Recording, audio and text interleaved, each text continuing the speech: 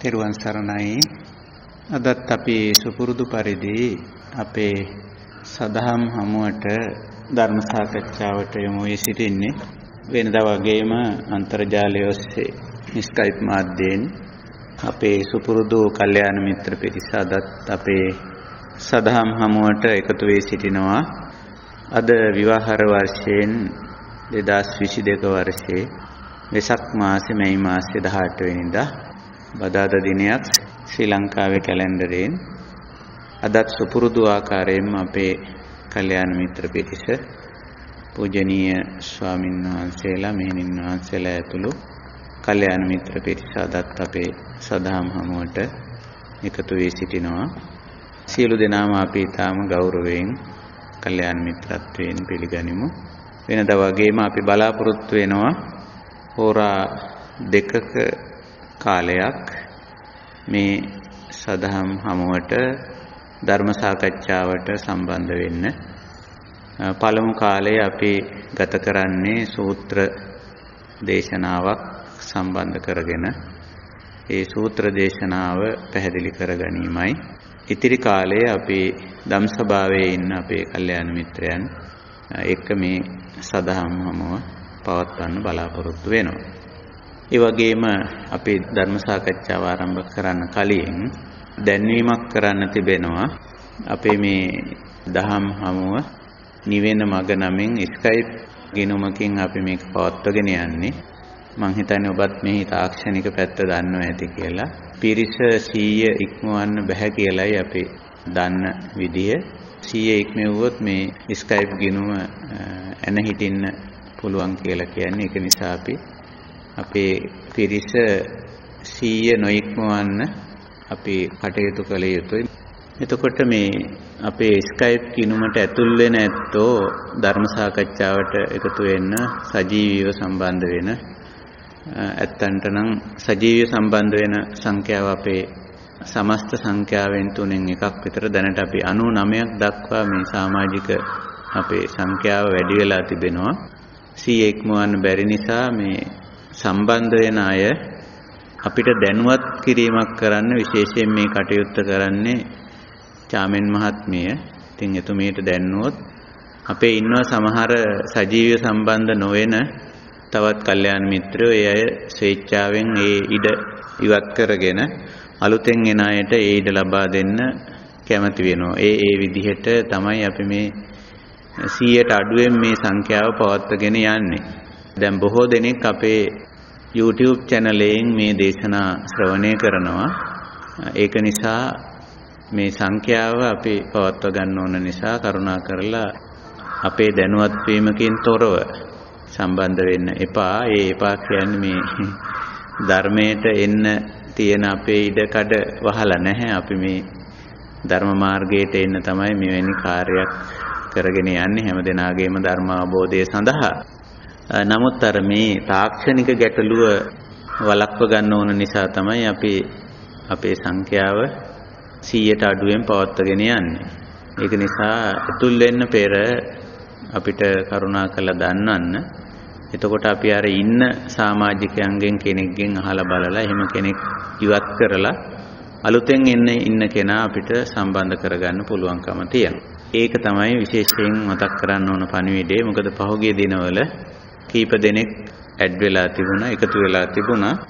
එතකොට අපේ මේ සංඛ්‍යාව ඉක්මවා යන්න ඒක හේතුවක් වෙනවා. මම දැන්වීමකොත් දාලා තිබුණා. ඒ දැන්වීම කියවලා නැහැ වගේ ඊට පසුවත් සමහර ඇත්තෝ ඇතුල් වෙලා තිබුණා. දැන් 99ක් වෙලා තියෙන සංඛ්‍යාව මම හිතන්නේ 100 ඉක්මෙව්වොත් එහෙම 100 වුණොත් මේ ස්කයිප් ගිණුම අවහිර වෙන බව තමයි සඳහන් කරලා තියෙන්නේ උපරිම 100ක් සංඛ්‍යාව.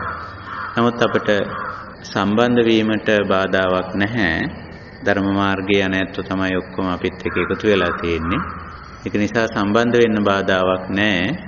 අපි බොහොම ගෞරවයෙන් ඉල්ලා සිටිනවා ඒ සම්බන්ධ වෙන ඇත්තෝ කල්තියා අපිට දන්වන්න. එතකොට ඔබට පුළුවන් අර සංඛ්‍යාව ඉක්මවා යන්නේ නැති වෙන විදියට ඔබ මේකට සම්බන්ධ කරගන්න අපිට හැකියාව තියෙනවා. අපි ඒ සඳහා කටයුතු කරන මීට පෙරත් එහෙමයි. දැනට අපේ සංඛ්‍යාව 100 නෙවෙයි ඊට වඩා විශාල ප්‍රමාණයක් මේ කල්යාණ මිත්‍රයන් අපි සමග එකතු වී සිටිනවා. ඒ හැම දිනාටම අපි මේ Skype කියනුම ඇතුළේ ඊට සලසලා තියෙන්නේ එහෙමයි. ඉතින් ඒක නිසා කරුණාකරලා කලින් දන්නන්න කියලා අපි බොහොම ගෞරවයෙන් මතක් කරන්න කැමතියි. හොඳයි අපි එහෙනම් ධර්ම සාකච්ඡාව ආරම්භ කරමු. වෙනද වගේම මේ උතුම් ශ්‍රී සද්ධර්මය අවබෝධ කරගෙන ලෝක සත්වයා කෙරෙහි අප්‍රමාණ කරුණාවෙන් දේශනා කොට වදාළ ශාන්තිනායක බුදු පියාණන් වහන්සේ බුද්ධ ගෞරවයෙන් සීකරගෙන নমස්කාර පාඨය තුන් වාරයක් කියලා අපේ සම්බුද්ධ වන්දනාවෙන් ධම් හමුව ආරම්භ කරමු. නමෝ තස්ස භගවතු අරහතෝ සම්මා සම්බුද්දස්ස නමෝ තස්ස භගවතු අරහතෝ සම්මා සම්බුද්දස්ස. නමෝ තස්ස භගවතු අරහතෝ සම්මා සම්බුද්දස්ස. සාදු සාදු සාදු.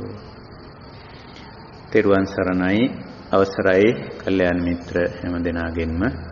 අපි අපේ ධර්මාවබෝධය පිණිස බොහෝ කාලයක් තිස්සේ මේ උතුම් කාර්ය මේ සදහම් හමු අපි පවත්වගෙන යනු ලබනවා අදත් ඒ විදිහටම අපි මේ කාලය තුල මේ දහම් හමුව පවත්වන්න බලාපොරොත්තුව අපි මේ ධර්ම සාකච්ඡාව සඳහා බුද්ධ දේශනා විශේෂයෙන් සූත්‍ර දේශනා උපකාරී කරගෙන තිබෙනවා. ඒ සූත්‍ර දේශනා ඇසුරු කරගෙන තමයි අපි මේ ධර්ම සාකච්ඡාව දහම් හමුව පවත්වන්නේ.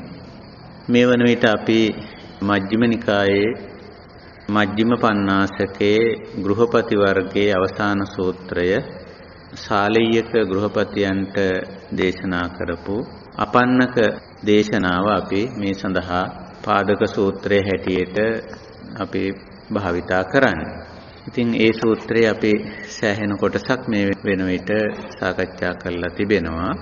අපි බලාපොරොත්තු වෙනවා ඒ සූත්‍රයේ ඉතිරි කොටස අපි නතර කරපු තැන ඉඳලා ඉදිරියට අද සාකච්ඡා කරගෙන යන්න. ඊට කලින් අපි මේ කරුණු කීපයක් මතක් කරන්න කැමතියි. විශේෂයෙන් අපි මේ ගත කරන කාලය වෙසක් සතිය වෙසක් කාලයේ හැටියට සලකනවා. පහුගිය සඳුදාවේ අපිට තිබුණු નિયમિત දවසේ අපේ ධර්ම සාකච්ඡාව කරන්නත් නොහැකි වුණේ ඇත්තටම වෙසක් සතිය නිමිති කරගෙන අපි යොදාගෙන තිබුණු යම් යම් විශේෂ වැඩ කටයුතු නිසායි ඒකයි අපි අද බදාද දිනේට මේ ධර්ම සාකච්ඡාව යොදාගත්තේ. ඉතින් මේ වෙසක් දිනේ තියෙන සුවිශේෂත්වය ගැන වචනයක් මතක් කරන්න කැමතියි. වෙසක් දිනය බුදුරජාණන් වහන්සේගේ ජීවිතය සුවිශේෂ කරගෙන මේ වෙසක් පොහොය හැමරේම අපේ බෞද්ධ ජනතාව විසින් කරගෙන යනු ලබනවා ලෝකවාසී බෞද්ධ ජනතාව.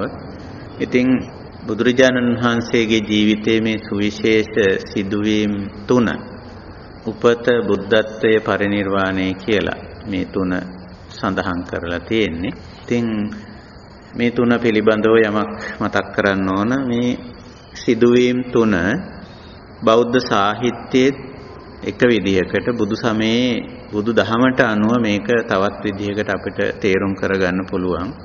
බෞද්ධ සාහිත්‍යයේ මේ කාරණා තුන සඳහන් කරලා තියෙන්නේ අර කුඩා ලදරුවාගේ සිද්ධාර්ථ. එතකොට සිද්ධාර්ථත් නෙවෙයි.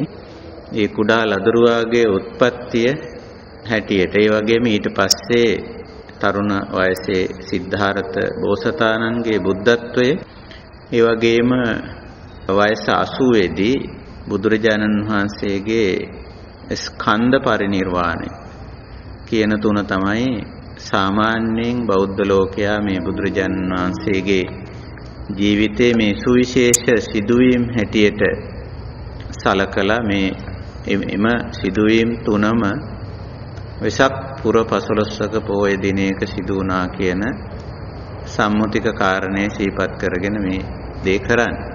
නමුත් ධර්මයට අනුව එකම දවසක එකම මොහොතක බුදුරජාණන් වහන්සේගේ ජීවිතයේ සිදුවෙච්ච සිදුවීම් අපි තේරුම් අරන් තියෙන්නේ ඊට වැඩිය ටිකක් වෙනස් විදියට. මෙහිදී වෙසක් පුර 15ක් පොහොය දවසක පළමුවෙන්ම සිද්ධ වන්නේ සිද්ධාර්ථ බෝසතාණන් වහන්සේ චතුසත්‍යය අවබෝධ කර ගැනීම. ඒක තමයි අපි බුද්ධ කියලා හඳුන්වන්නේ. සම්මා සම්බුද්ධ කියන ගුණය අපි විස්තර කරන්නේ චතුසත්‍ය අවබෝධය ලැබූ නිසා කියලා. ඒ ස්වයං අවබෝධය අවබෝධ ලබාගත් අවබෝධය ලබාගත්තේ මේ චතුසත්‍ය චතුරාර්ය සත්‍යය. චතුරාර්ය සත්‍ය අවබෝධ කර ගැනීම ගැනත් අපි යමක් පළමුවෙන් කතා කරන්න ඕනේ. මෙතෙන්දී බෝසතාණන් වහන්සේ අවබෝධ කරගත්තේ හැම ශේස්ත්‍රයකම හැම ශේස්ත්‍රයකම ගැටලු තියෙනවා කියන පළවෙනි කාරණේ. දුක්ඛේ ඥානං. ඒක එක ශේස්ත්‍රයකට එක තැනකට සීමා කරන්න පුළුවන් දෙයක් නෙවෙයි. කවර ශේස්ත්‍රයක වුණත් ගැටලු තියෙනවා. එතකොට මේ ඕක පස්සේ කාලේ ඔය අන්තෝ ජටා බහි ජටා කියන ප්‍රකාශෙනුත් කියවෙන්නේ. අභ්‍යන්තර බාහිර වශයෙන් අපි බෙදලා ගන්නවා මේ ගැටලු. ඊළඟට තවත් බාහිර ගැටලු ආර්ථික සමාජීය දේශපාලන පාරිසරික කියලා වෙන් කරලා ගන්නවා අභ්‍යන්තර ගැටලු කායික මානසික කියලා වෙන් කරලා ගන්නවා ඕවත් තවත් ගොඩාක් කුඩා කුඩා ක්ෂේත්‍රවලට වෙන් කරලා ගන්න පුළුවන්කම තියෙනවා. මෙන්න මේ ගැටලු හැම ක්ෂේත්‍රයකම ගැටලු ඇති බව මේ ගැටලු වලින් ඇති කරන ස්වභාවය තමයි දුක්ඛ කියන්නේ ඇත්තට. මට තේරෙන විදිහට ගැටලුවටමයි දුක්ඛ කියන්නේ කියලා. කිසියම් දුෂ්කරතාවයක් මේ ගැටලුවේ තියෙනවා. දුෂ්කරතාවයක් තියෙනවා. ගැටලුවක් පැන නැගුණම අපි දන්නවා එතන දුෂ්කරතාවයක් තියෙන බව. දුෂ්කරතාවයක් කියන්නේ දරා ගැනීමේ අපහසුතාවක්. කයින් සහ මනසින් එය දරා ගන්න අපහසුයි. ඒ දරා ගැනීමේ අපහසුතාව තියෙනවා මේ ගැටලුවේ. එතකොට ගැටලුවමයි දුක්ඛ කියන්නේ. එතකොට බෝසතාණන් වහන්සේ අවබෝධ කරගත්තා හැම ශේත්‍රයකම මිනිස්යන්ට අදාළ අභ්‍යන්තර බාහිර වේවා හැම ශේත්‍රයකම ගැටලු පැන නගිනවා කියන බව. ඕක අපි කියන්නේ දුක්ඛේ ඥානං කියලා. දුක්ඛේ ඥානේ විස්තර කිරීමට නිදර්ශන දක්වලා තියෙනවා. ඔය අභ්‍යන්තර බාහිර දෙකටම සම්බන්ධ නිදර්ශන තමයි දක්වලා තියෙන්නේ. දැන් සමහර වෙලට පියේහි විප්පයෝගෝ අප්පියේහි සම්පයෝගෝ වගේ දේවල් බලපුවම ඕවා බාහිර සාධක හැටියටත් පෙන්වන්න පුළුවන්. යම් පිච්ඡං නලබති වගේ දේවල් අභ්‍යන්තර සාධක කියන්න පුළුවන්. ඊළඟට ජරා, ව්‍යාධි, මරණ ඕවා අභ්‍යන්තර බාහිර වශයෙන් අපිට වෙන් කරලා පැහැදිලි කරලා දක්වන්න පුළුවන්. එතකොට ඔය ඔය හැම ගැටලුවකම කිසියම් දුෂ්කරතාවයක් පුද්ගලයාට ඇති කරනවා මේ හැම ගැටලුවක්ම. හැබැයි මේක පුතජන දෘෂ්ටි කෝණයෙන් බලපුවම තමයි. ආර්ය ප්‍රතිපදාවට ඇවිල්ලා බලපුවහම මේව ඇත්තටම ගැටලු නෙවෙයි. ඔය ධම්මානුපස්සනාවට අපි ඇවිල්ලා බලපුවම ධම්මේසු ධම්මානුපස්සී විහෙරති කියන විදියට ඒවා ඇත්තටම ධර්මතා. කිසියම් හේතු විසින් ඇති කරන ඵල හේතුඵල ධර්ම. නමුත් සාමාන්‍ය මට්ටමේ මිනිස්යාට මේ දේවල් ගැටලු ඒ වගේම ඒ වයින් යම් යම් දුෂ්කරතා ඉස්මතු වෙනවා. එතකොට සිද්ධාර්ථ බෝසතාණන් වහන්සේ මෙන්න මේ කාරණේ අවබෝධ කරගත්ත දුක්ඛේ ඥාන. මේ ගැටලු තියෙන හැම ශේස්ත්‍රයකම මේ ගැටලු විසින් දුෂ්කරතා ඇති කරනවා කියන කාරණා. ඊළඟට බෝසතාණන් වහන්සේ අවබෝධ කරගත්ත මේ කවර ගැටලුවක් වුණත් ඉස්මතු කරන්නේ කිසියම් හේතුවකින් කියලා. ඒකට අපි කියන්නේ දුක්ඛ සමුදය ඥානං කියලා. කවර ශේස්ත්‍රයක කවර ආකාරයේ ගැටලුවක් වුණත් ඇති කරන්නේ හේතුවකින්. හේතු විසින් හේතු එකක් කියන එක සුදුසු නෑ. හේතු විසින් ඇති කරන තත්වයක් හැටියට. ඒ විදිහට. එතකොට ඒ හේතු විවිධයි. විචිත්‍රයි, විසමයි. ඒවා සොයන එකත් පහසු නෑ. සමහර විට ඒවා සෙවීමේ යම් යම් දුෂ්කරතාවක් තියෙනවා. නැතුව නෙමෙයි හේතු ඇතැම් දේවල් වල හේතු හොයාගන්න එක පහසු නෑ. යම් යම් දුෂ්කරතා තියෙනවා හේතු හොයා ගැනීමෙහිලා. කොහොම නමුත් බෝසතාණන් වහන්සේ දෙවනුවට තේරුම් ගත්තා කවර ක්ෂේත්‍රයක කවර ආකාරයේ ගැටලුවක් ඉස්මතු වුණත් ඒ ගැටලුවට හේතු ඇති බව. ඒකට අපි කියන්නේ දුක්ඛ සමුදය ඥානං කියලා. දුක්ඛ සමුදය ඥානං. ඒ කියන්නේ මේ ගැටලුවට හේතුවක් තියෙනවා කියන. හේතු තියෙනවා කියන කාරණා. ඒකයි සම දුක්ඛ සමුදය ඥානං කියලා කිව්වේ. ඉතින් ওই විදිහට ඔය දෙවනි ඥානය බෝසතාණන් වහන්සේ විසින් ඇති කරගත්ත. ඊළඟට මේ දුක්ඛේ ඥානය දුක්ඛ සමුදය ඥානයත් ඇති වුණායින් පස්සේ දැන් ගැටලුවත් ගැටලුවට හේතුවත් දැක්කොත් දැක්කම කෙනෙකුට ඒ ගැටලුව විසඳ ගන්න එතන දොර විවෘත වෙලා තියෙන්නේ. මොකද ගැටලුව ඇති කරපු හේතුව දැන් පැහැදිලි. එතකොට ඒ ගැටලුව විසඳා ගැනීමට තමයි ඇත්තටම නිරෝධ කියන්නේ. නිරෝධ කියන වචනේ පරිවර්තනය කරන්න ගොඩක් අමාරු වචනයක් නිරෝධ කියන්නේ. මොකද නිරෝධ කියන්නේ සමහර වෙලාවකට නතර කිරීම, නැති කිරීම, ඉවත් කිරීම, අවසන් කිරීම කියන වගේ තේරුමකුත් තියෙනවා. නතර කිරීම කියන අර්ථය සමහර වෙලාවට. ඇතැම් වෙලාවට මේක පාලනය කර ගැනීම කියන අර්ථයක් තියෙනවා. සමහර වෙලාවට අවබෝධ කර ගැනීම. පාලනය කිරීමෙන් අවබෝධ කර ගැනීමෙන් ඉවත් කිරීමෙන් දරා ගැනීමෙන් ඔය කොයියම් ආකාරයකින් හරි තමයි මේ Nirodhe වෙන්නේ.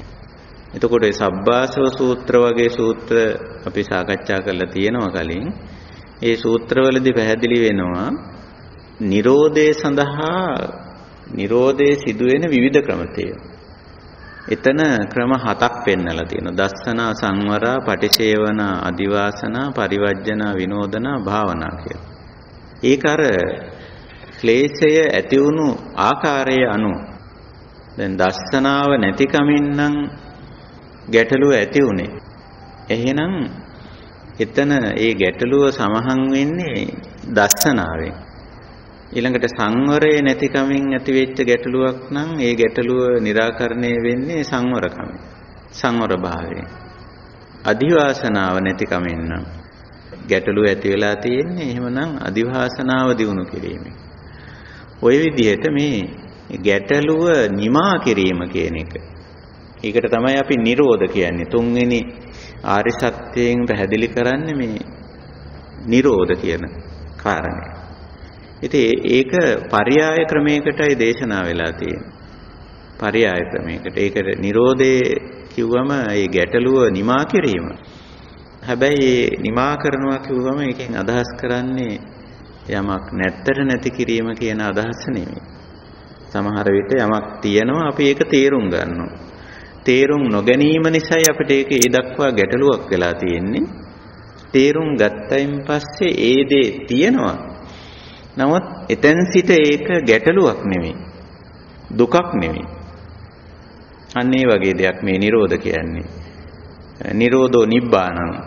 Nirodhayමයි නිවන කියන්නේ.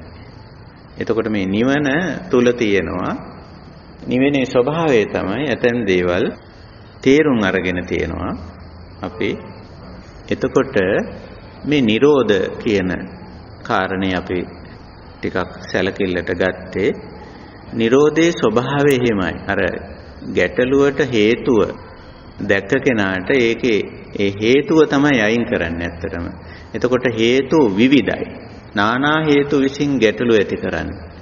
දුක්ඛ ස්වභාවයන් ඇති කරන්නේ. එතකොට මේ හේතුව අනාවරණය කරගත්ත පුද්ගලයාට ඒ හේතුව ඉවත් කිරීමෙන් අර ගැටලුව ඉවත් කරන්න පුළුවන්. එතකොට ඒකෙන් කියවෙන තවත් දෙයක් තියෙනවා. මේ ගැටලු ඇති කරන හේතු විවිධයි. ගැටලුත් විවිධයි. ඒ අනුව ගැටලු ඇති කරන හේතුත් විවිධයි. එතකොට ඒ හේතු තේරුම් ගැනීමෙන් අපිට ඒ ඒ ඒ ගැටලුව සමහන් කරන්න පුළුවන්. එතකොට ඒක තමයි මේ ගැටලු निराකරණය කිරීම තමයි නිරෝධ කියන්නේ. නැති කිරීම කියන අර්ථය ගන්න අමාරුයි. මොකද නැති කිරීම කියන අර්ථයත් ගන්න පුළුවන් තැන් තියෙනවා. දැන් කෙලෙස් සම්බන්ධයෙන් ගත්තොත් හිතේ ඇති වෙන අකුසල චේතනා, අකුසල සංඥා, අයෝනිසෝ මනසිකාර වගේ දේවල් සම්පූර්ණයෙන්ම නැති කරනවා. ඒවා නැති කරන්න පුළුවන්. ඒක නිසා ඔය සබ්බාසව සූත්‍රයේදීත් විනෝදනා කියන එක පරයායක් දක්වලා තියෙනවා. නිරෝධ පරයායක්. එකක් තමයි විනෝදනා. එතකොට එතෙන්දී ඒ සමහර කාරණා සම්පූර්ණයෙන්ම ඉවත් කිරේ. දැන් ජරා ධර්මතාවය වගේ එකක් ගත්තොත් ජරා ධර්මතාවය ගැටලුවක් තමයි. නමුත් ඒ ජරා ධර්මතාවය ගත්තොත් අපි ඒක මේ දුරු කිරීමකට වඩා ඒක එක්ක එක්තරා විදිහකට ඒක තේරුම් අරගෙන ඒකත් එක්ක පවතින ස්වභාවයක් මේ ඇති කරගන්න. ඉතින් ওই විදිහට මේ Nirodhaය ඔහොමයි. එතකොට Nirodhaයටපත් වෙන්න මාර්ගයක් තියෙනවා. මාර්ගය කියන්නේ අන්න අරක තමයි. යම් කිසි දෙයක අඩුපාඩුකමක් තියෙනවා නම් ඒ අඩුපාඩුව හදා ගැනීම එතන මාර්ගය වෙන්නේ. සංවරයේ අඩු නම් එහෙම. චිත්ත සමාධියේ පැත්තේ අඩුපාඩුකමක් තියෙනවා නම් ඒක හදාගන්න එක. ප්‍රඥාව පැත්තේ අඩුපාඩුකමක් තියෙනවා නම් ඒක හදාගන්න එක. ඒ විදිහට මාර්ගය තුල නිතරම තියෙන්නේ කාරණා තුනක් අපිට පේනවා. සීල සමාධි ප්‍රඥා. දැන් මජ්ක්‍ධිමා පටිපදාව ආර්ය අෂ්ටාංගික මාර්ගය තුල අංග 8ක් තියෙනවා අපි දන්නවා. මේ අංග 8ක් තිබුණට ඒ අංග 8 තුල අන්තර්ගත වෙලා තියෙන්නේ මේ කුසලතා තුන. ප්‍රඥා, සීල, සමාධි. එතකොට ඕනම ගැටලුවක් කවර ක්ෂේත්‍රයක කවර ආකාරයේ ගැටලුවක් නමුත් පැන නගින්නේ මේ කුසලතා තුනේ අඩුපාඩුවක් නිසා. අපිට ඒක හොඳට නිරීක්ෂණය කරලා බැලුවොත් පේනවා කවර ක්ෂේත්‍රයක කවර ගැටලුවක් වුවද පැන නගින්නේ එක්කෝ සීලේ අඩුපාඩුවක් නිසා. ඒ කියන්නේ ආචාර ධර්මීය පක්ෂයේ අඩුපාඩුවක් නිසා. එහෙම නැත්නම් සමාධි සමාධි පැත්තට අයිති වෙන්නේ විශේෂයෙන් චේතනා මානසිකාර දෙක හුඟක්ම අයිති වෙන්නේ. එතකොට අපි අපේ සිතිවිලි වල යම්කිසි දෝෂයක් අඩුපාඩුවක් තියෙනවා නම් අන්න එතෙන්දී ඒ ගැටලුව පැන නගිනවා. එහෙම නැත්නම් අවබෝධයේ අවබෝධමය අංශේ තියෙනවා නම් එතකොටත් ඒ ගැටලුව පැන නගිනවා. එතකොට ඕනම ක්ෂේත්‍රයක ඕනම ගැටලුවක් කවර ක්ෂේත්‍රයක කවර ගැටලුවක් වුවද පැන නගින්නේ මේ ප්‍රධාන දෝෂ තුන පදනම් කරගෙන. ඒ කියන්නේ ප්‍රධාන කුසලතා තුනේ අඩුපාඩුකමක් නිසා. එකක් තමයි මේ සීලමය පැත්ත ආචාර ධර්මීය අංශය අනික චිත්තාවේගී අංශය අනික බුද්ධිමය අංශය. ප්‍රඥා සීල සමාධි. ওই තුනේ අඩුපාඩුවක් නිසා. එතකොට ඒකයි මාර්ගයට දුක්ඛ නිරෝධ ගාමිනී පටිපදාව. ඒකට තමයි අපි මාර්ග සත්‍යය කියන්නේ. මාර්ග සත්‍යයට නිතරම ඇතුළත් වෙලා තියෙන ඔය තුන තමයි.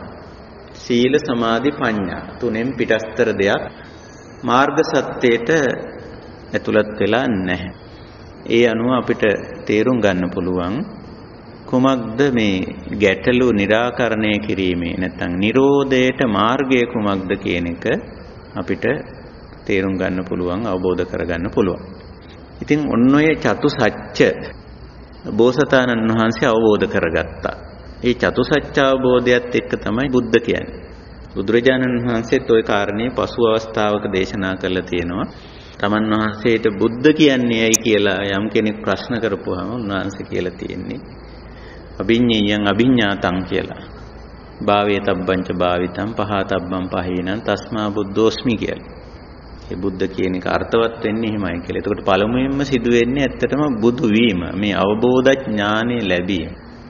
එතකොට මේ චතුසත්‍ය අවබෝධය වුණාම ඒ අවබෝධ ඥානය තුලින් බෝසතාණන් වහන්සේ නැත්තම් අපි දැන් බුදුරජාණන් වහන්සේ කියමු එතෙන් සිට මේක හරි සියුම් කාරණයක් හොඳින් තේරුම් ගන්න. ඒ අවබෝධ ඥානය තුලින් ඒ කියන්නේ ගැටලු තියෙනවා ගැටලුවට හේතු තියෙනවා මිදීම තියෙනවා මිදීමට මඟ තියෙනවා කියන ඒ චතුසත්‍ය අවබෝධය තුලින් ඒ ඥානය තුලින් බුද්ධ ඥානය තුලින් උන්වහන්සේ පළමුවෙන් බැලුවේ Taman දිහා. තමා තුළ තමන්ට දුක තියෙන නිසානේ මේ ආවේ දුකින් මිදීමේ මඟක් සොයාගෙන එතකොට එහෙනම් ඉස්සර වෙලාම තමන් දිහා බැලුව බලපුවාම තමා තුල තිබුණු මේ ගැටලු සියල්ල උන්වහන්සේ දුටුවා දුක්ඛ ඔක්කොම ඒ ගැටලු පිළිබඳ පූර්ණ පරිඥානයක් අවබෝධයක් ඇති වුණා. ඒකයි බුදුරජාන් වහන්සේ දුක්ඛං පරිඤ්ඤයං කියලා අපිට දේශනා කරලා තියෙන්නේ. මේ ගැටලු එවත් මේ දුක්ඛ ස්වභාවයන් පිරිසිඳ දැනගත යුතුයි අවබෝධ කරගත යුතුයි කියලා උන්වහන්සේ දේශනා කරලා තියෙන්නේ ඒකයි. ඒ අනුව උන්වහන්සේ මේ තමන්ගේ සියලු ගැටලු අවබෝධ කරගත්ත තමා තුළ තියෙන ඒවා.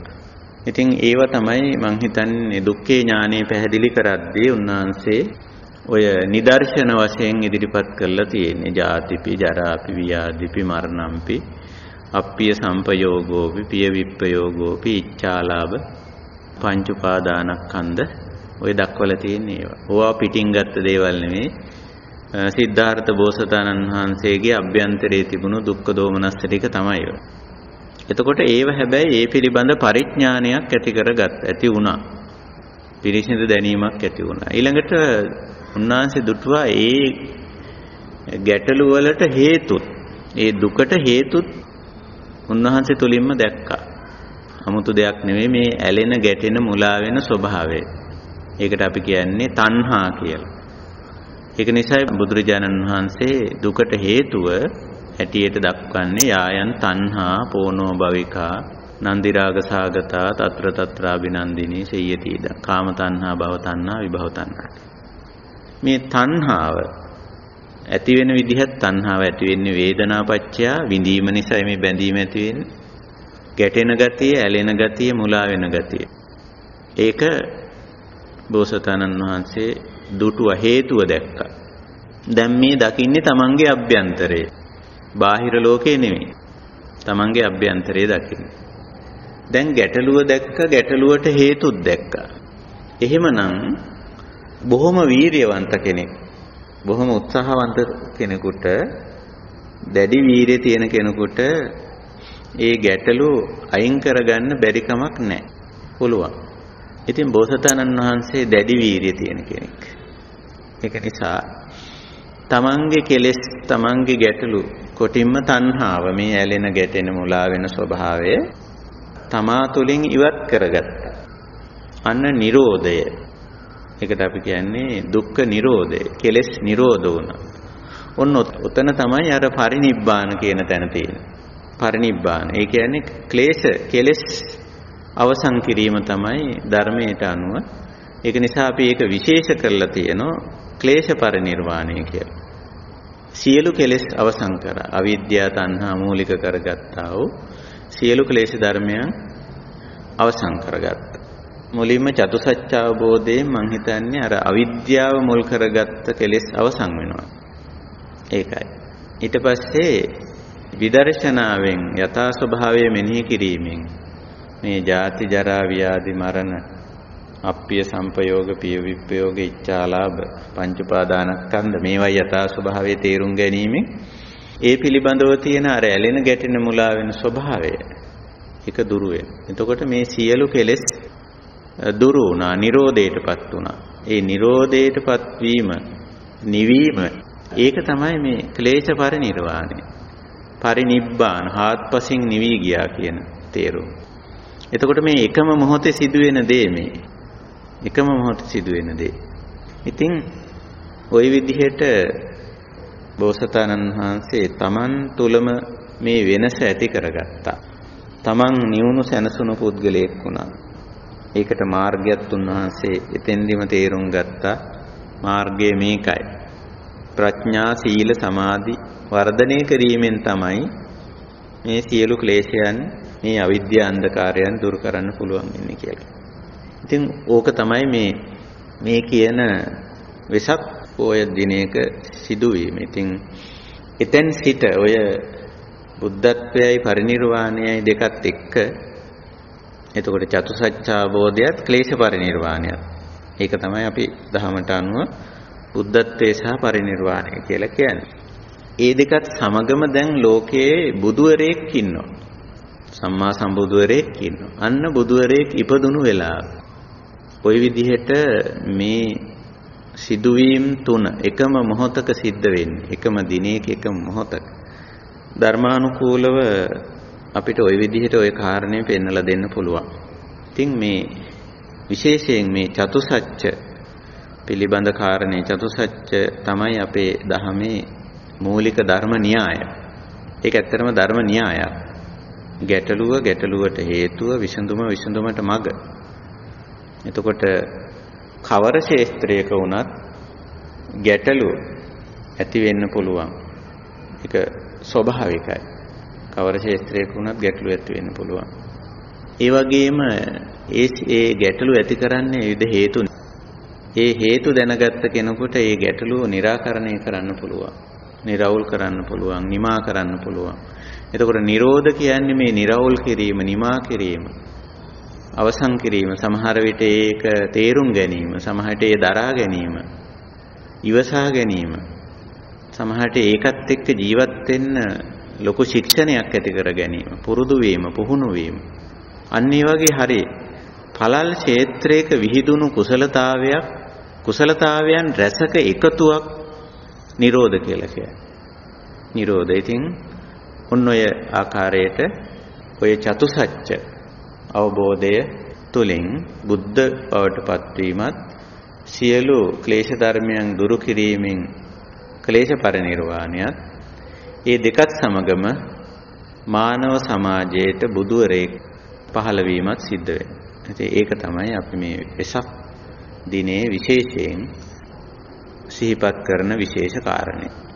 හොඳයි මම ওই කාරණේ සිහිපත් කළේ කාලයේ තියෙන විශේෂත්වය පදනම් කරගෙන අපි එහෙමනම් අපේ සූත්‍ර දේශනාවට යොමු වෙන්න බලාපොරොත්තු වෙනවා මෙතෙන් සිට අපි තෝරාගත්ත සූත්‍රය තෝරාගෙන තියෙන සූත්‍රය ඔබ දන්නවා මජ්ක්‍ධිම නිකායේ සූත්‍ර පිටකයේ මජ්ක්‍ධිම නිකායේ මජ්ක්‍ධිම පඤ්ඤාසකේ ගෘහපති වර්ගයේ ඇතුළත් සූත්‍ර දේශනාවක් මේ අපන්නක දේශනාව. ඉතින් අපි බලාපොරොත්තු වෙනවා මේ අපන්නක දේශනාව අදත් ඒකේ අපි කොටසක් ඇත්තටම සාකච්ඡා කළා. ඒ කොටස ඒ කොටසෙන් ඉදිරියට යන්න බලාපොරොත්තු වෙනවා අද සිට. මේ දේශනාවේ මුල් මුල් කාරණා අපි ගොඩක් කතා බහ කරලා තියෙන නිසා අපි ඒ කාරණා නැවත මතක් කරන්න බලාපොරොත්තු වෙන්නේ නැහැ. නමුත් අපි බලමු මෙතෙන් සිට අපිට මේ සූත්‍රයේ ඉතිරි කොටස් වලට අවධානය යොමු කරන්න. මොනවද අපි මේ සූත්‍රයේ අපිට සාකච්ඡා කරන්න තියෙන්නේ කියලා.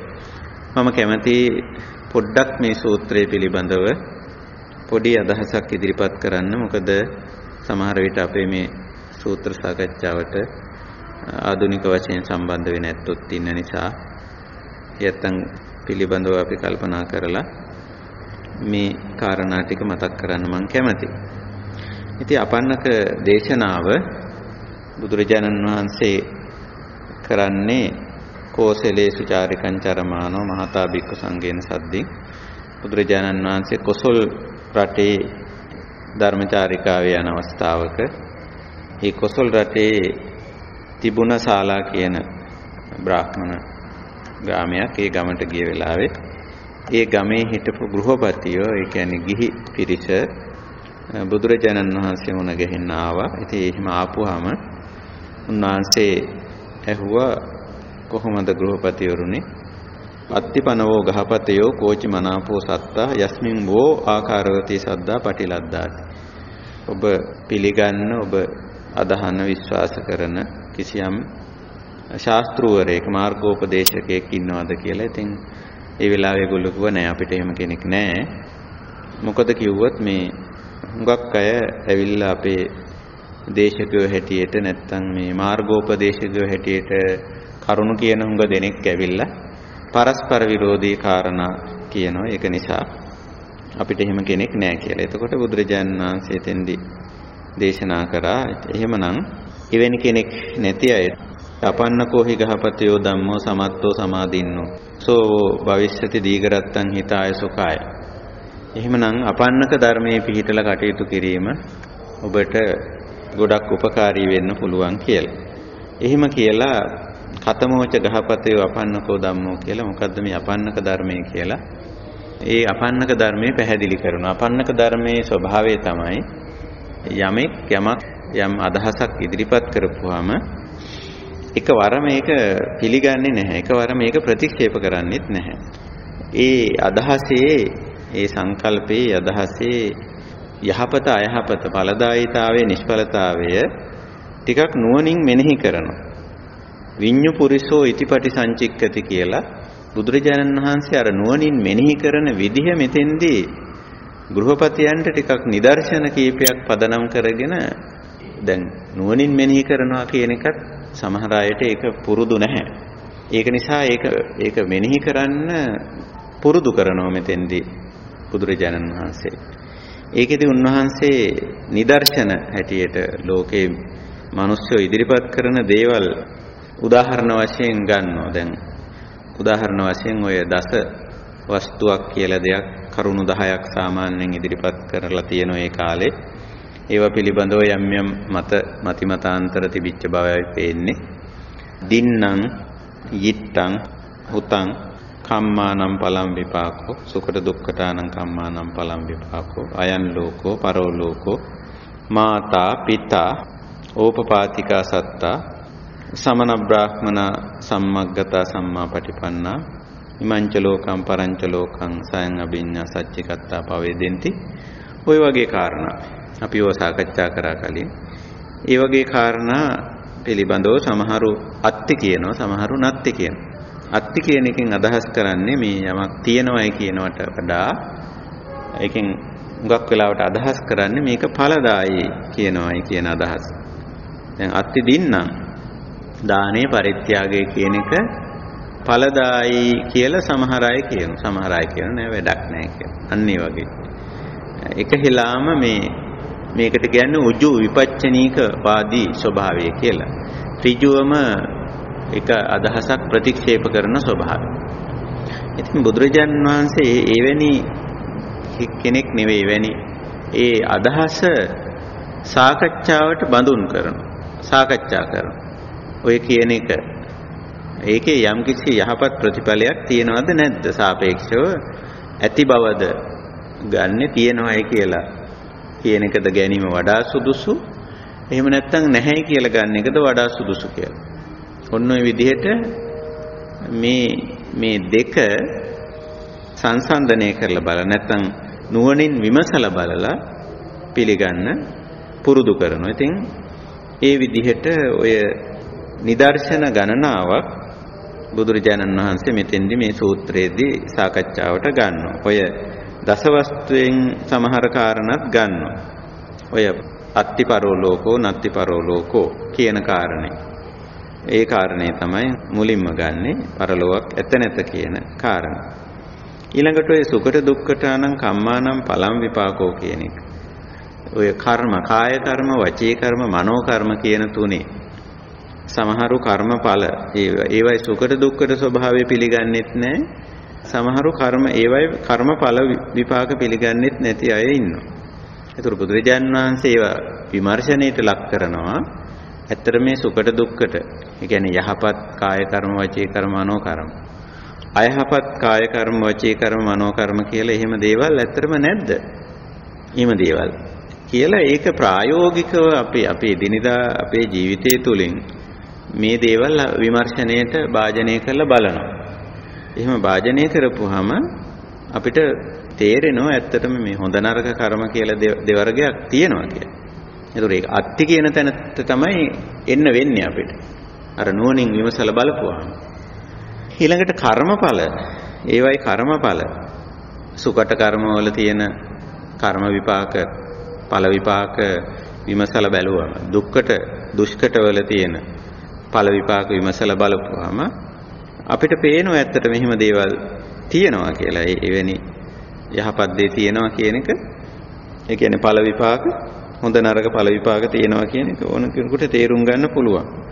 ওই විදිහට ඔය කර්මඵල සම්බන්ධ කරලා තියෙනවා. එතෙන්දී ඔය වචී කර්ම, කාය කර්ම, මනෝ කර්ම තුනම සම්බන්ධ කරලා බුදුරජාන් වහන්සේ ඒ අදහස ඉදිරිපත් කළා ඉදිරිපත් කළා. ඉතින් මෙහෙම සාකච්ඡා කරනකොට මේ අපන්නක ධර්මයේ අපන්නක ප්‍රතිපදාව මේ අයට තේරුණා, වැටහුණා.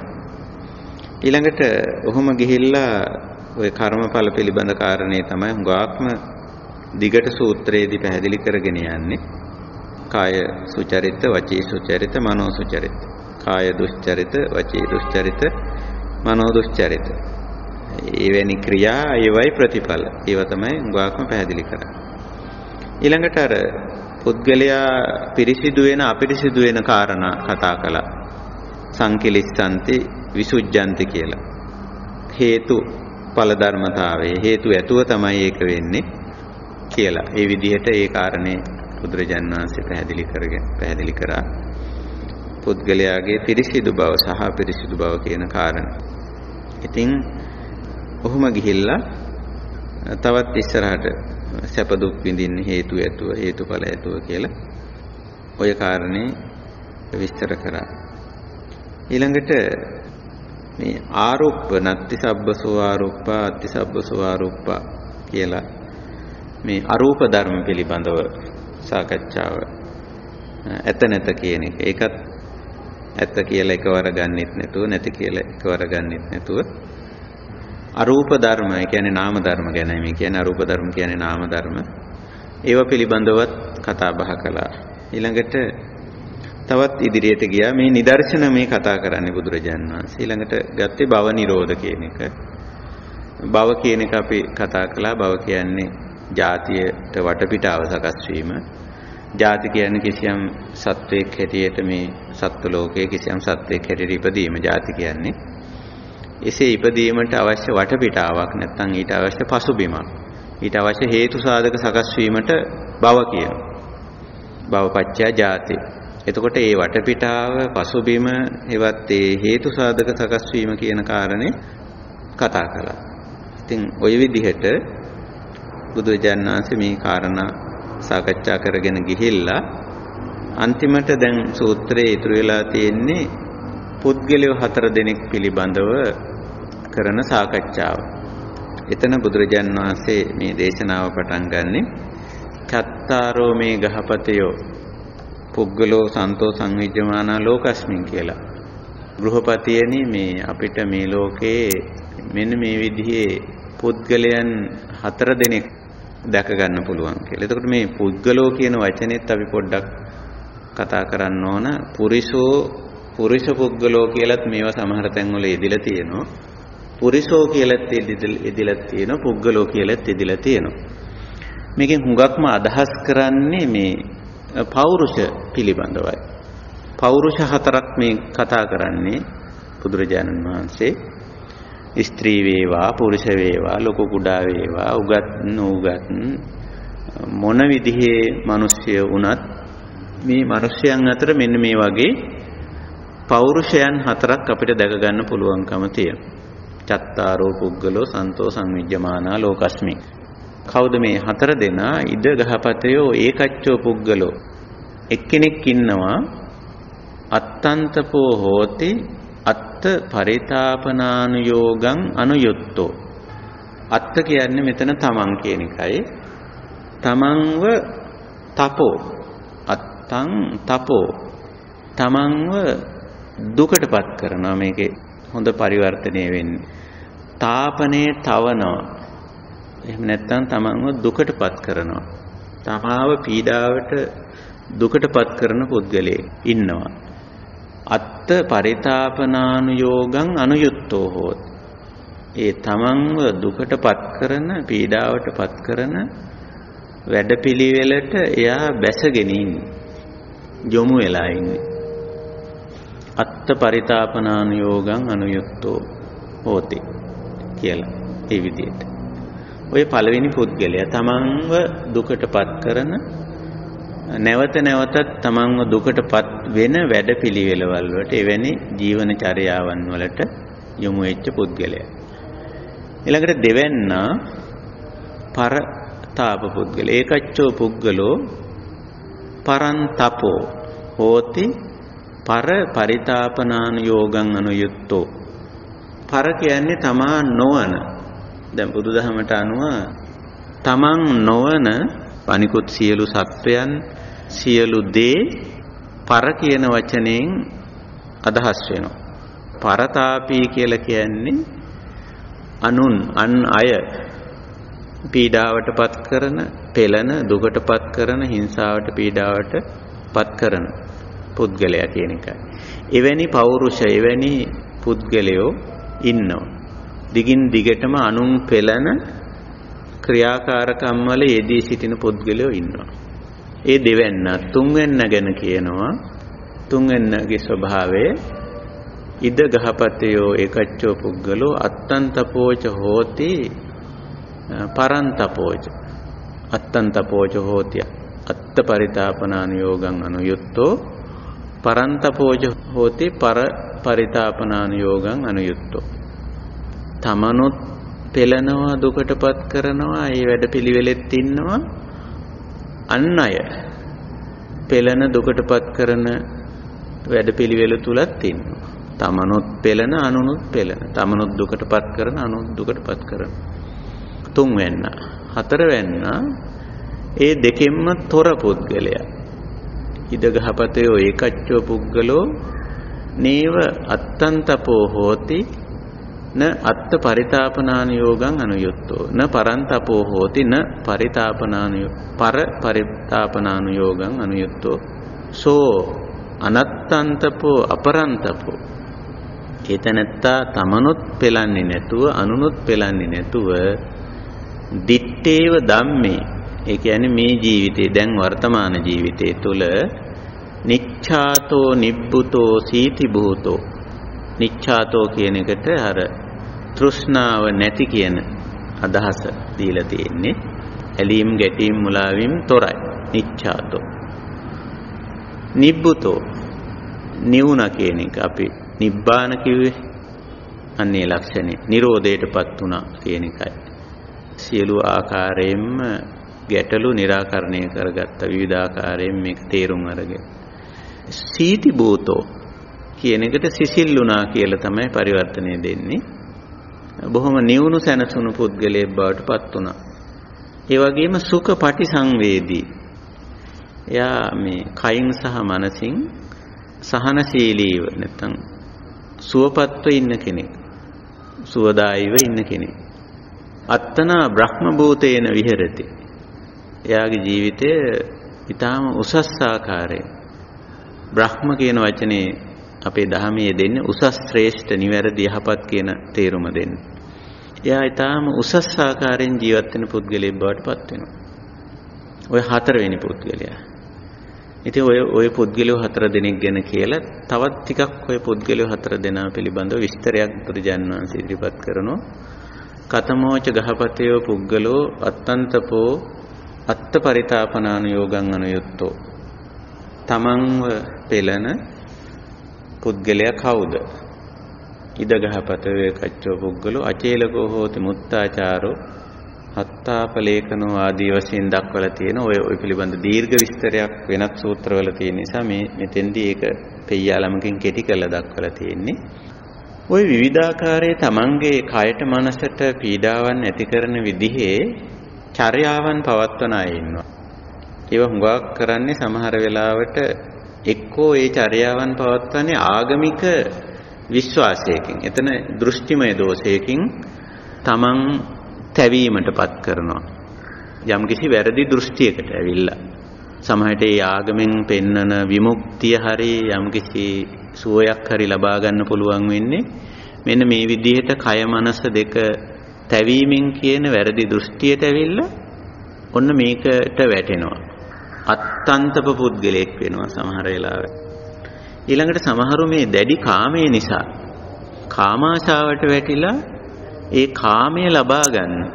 ලබා ගැනීමට පුළුවන් වෙන්නේ මේ Tamanට දුක් දීමෙන් Tamanට Taman පීඩාවටපත් කිරීමෙන් කියලා හිතනවා. දැන් සමහර අයගේ ඔය Tamanට වද දී ගැනීම සමහරට ඒ වගේ දේවල් වල තියෙනවා ඒ වගේ ලක්ෂණයක්. දැඩි කාමාශාව දැනට ඒක භුක්ති විඳ ගන්න දැනට ඒක ලබාගෙන නැහැ. නමුත් ඒක ලබා ගන්න කියන අදහසින් Tamanට ජීවිතේට දුක් දෙන. කය මනස පීඩාවටපත් කරනවා තමන්ගෙම තමා විසින් මේකයි අත්තන්තපෝ කියලා කිව්වේ. තමන් පීඩාවටපත් කරනවා කියන අදහස. ඉතින් ওই විදිහ අය ඉන්නවා තමන්ව පෙළන. ඊළඟට පෙන්නනවා පරන්තප පුද්ගලයාගේ ස්වභාවය. කතමෝච ගහපතයෝ පුද්ගලෝ පරන්තපෝ පර පරිතාපනාන යෝගං අනුයුක්තෝ කියලා.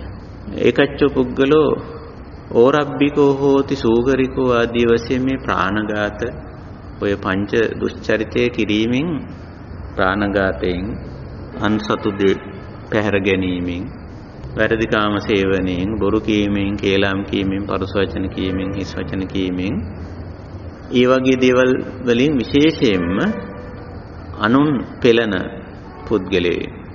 ඒ ඒවා සාමාන්‍යයෙන් දෙකෙම පෙළෙනවා. දැන් Tamanට ඒවයි කර්මඵල එන එනකොට ඒවයින් තමනුත් පෙළෙනවා. නමුත් සමහර වෙලාවට ඒවයි අනුන් පෙළෙන ස්වභාවය තමයි ඉස්සර වෙලාම ඇති වෙන්නේ. ඒක දැන් ප්‍රාණඝාතය වගේ දෙයකින් මුලින්ම සිද්ධ වෙන්නේ අනුන් පෙළීම. හොරකමෙන් වැරදිකාම සේවනයෙන් පුද්ගලයා ටික වෙලාවකට යම්කිසි සතුටක් වින්දනයක් ලබනවා වෙන්න පුළුවන්. නමුත් අනුන් පෙළීම තමයි පළමුවෙන් සිද්ධ වෙන්නේ. ඊළඟට තමයි තමන් පෙළීමත් සිද්ධ වෙන්නේ. ඉතින් මේකට නිදර්ශන වශයෙන් දාලා තියෙන විශේෂයෙන් මේ ප්‍රාණඝාත කරන ඒ සත්ව හිංසා කරන ඒ වගේ නිදර්ශන දාලා තියෙනවා. අන්න එවැනි ඒවා පන අඤ්ඤේපි කේචි කුරූර කම්මන් කම්මන්තා. කුරූර කියන වචනේ අපි සිංහලට පරිවර්තනය කරන්නේ ක්‍රූර කියලා. කුරිරු දරුණු හිංසාකාරී දේවල් කරන පුද්ගලයෝ පරන්තප පුද්ගලයෝ හැටියට දක්වලා තියෙනවා.